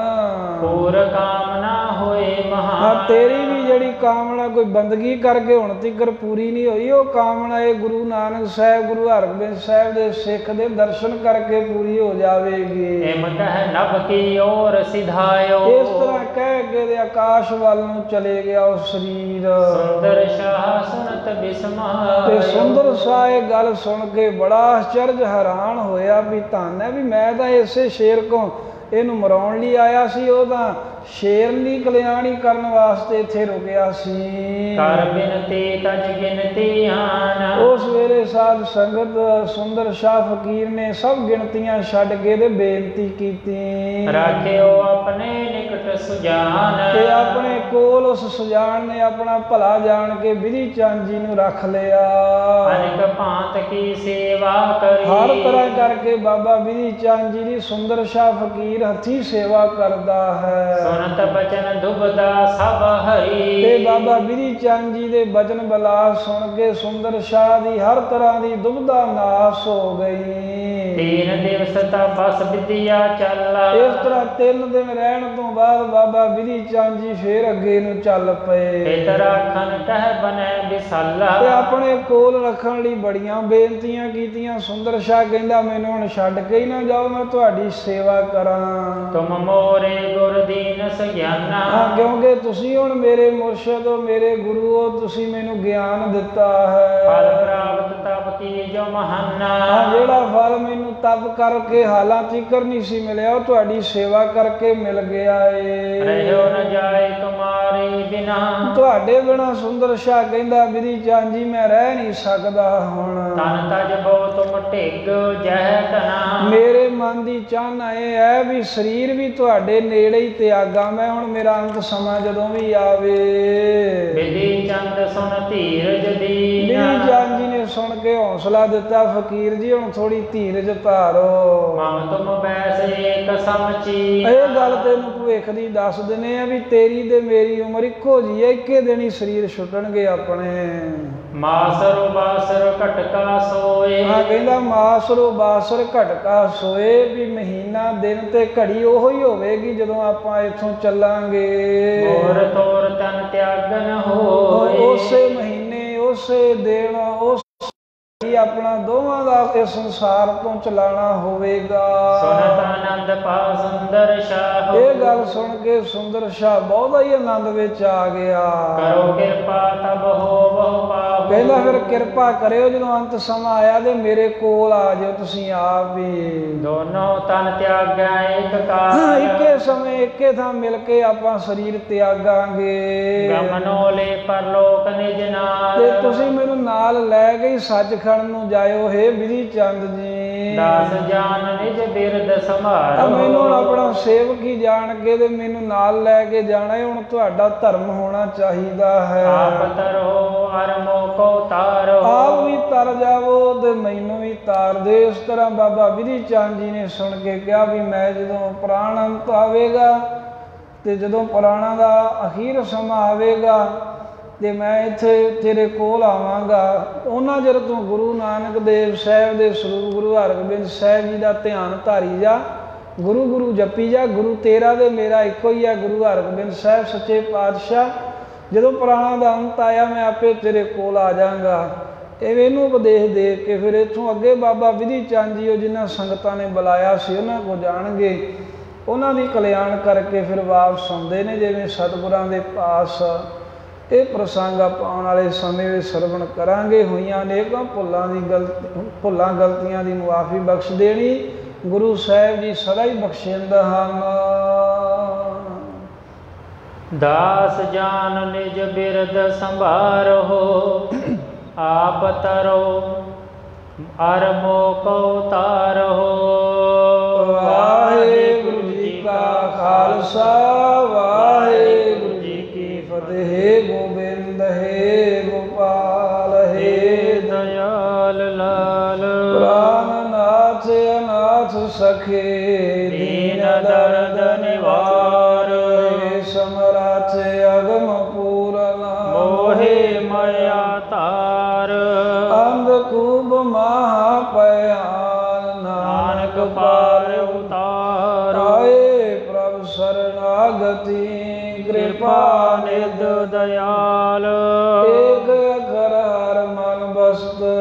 ਨਾਨਕ ਹੋਤ ਨਿਹਾਲ। ਵਾਹਿਗੁਰੂ ਨਾਮ ਜਹਾਜ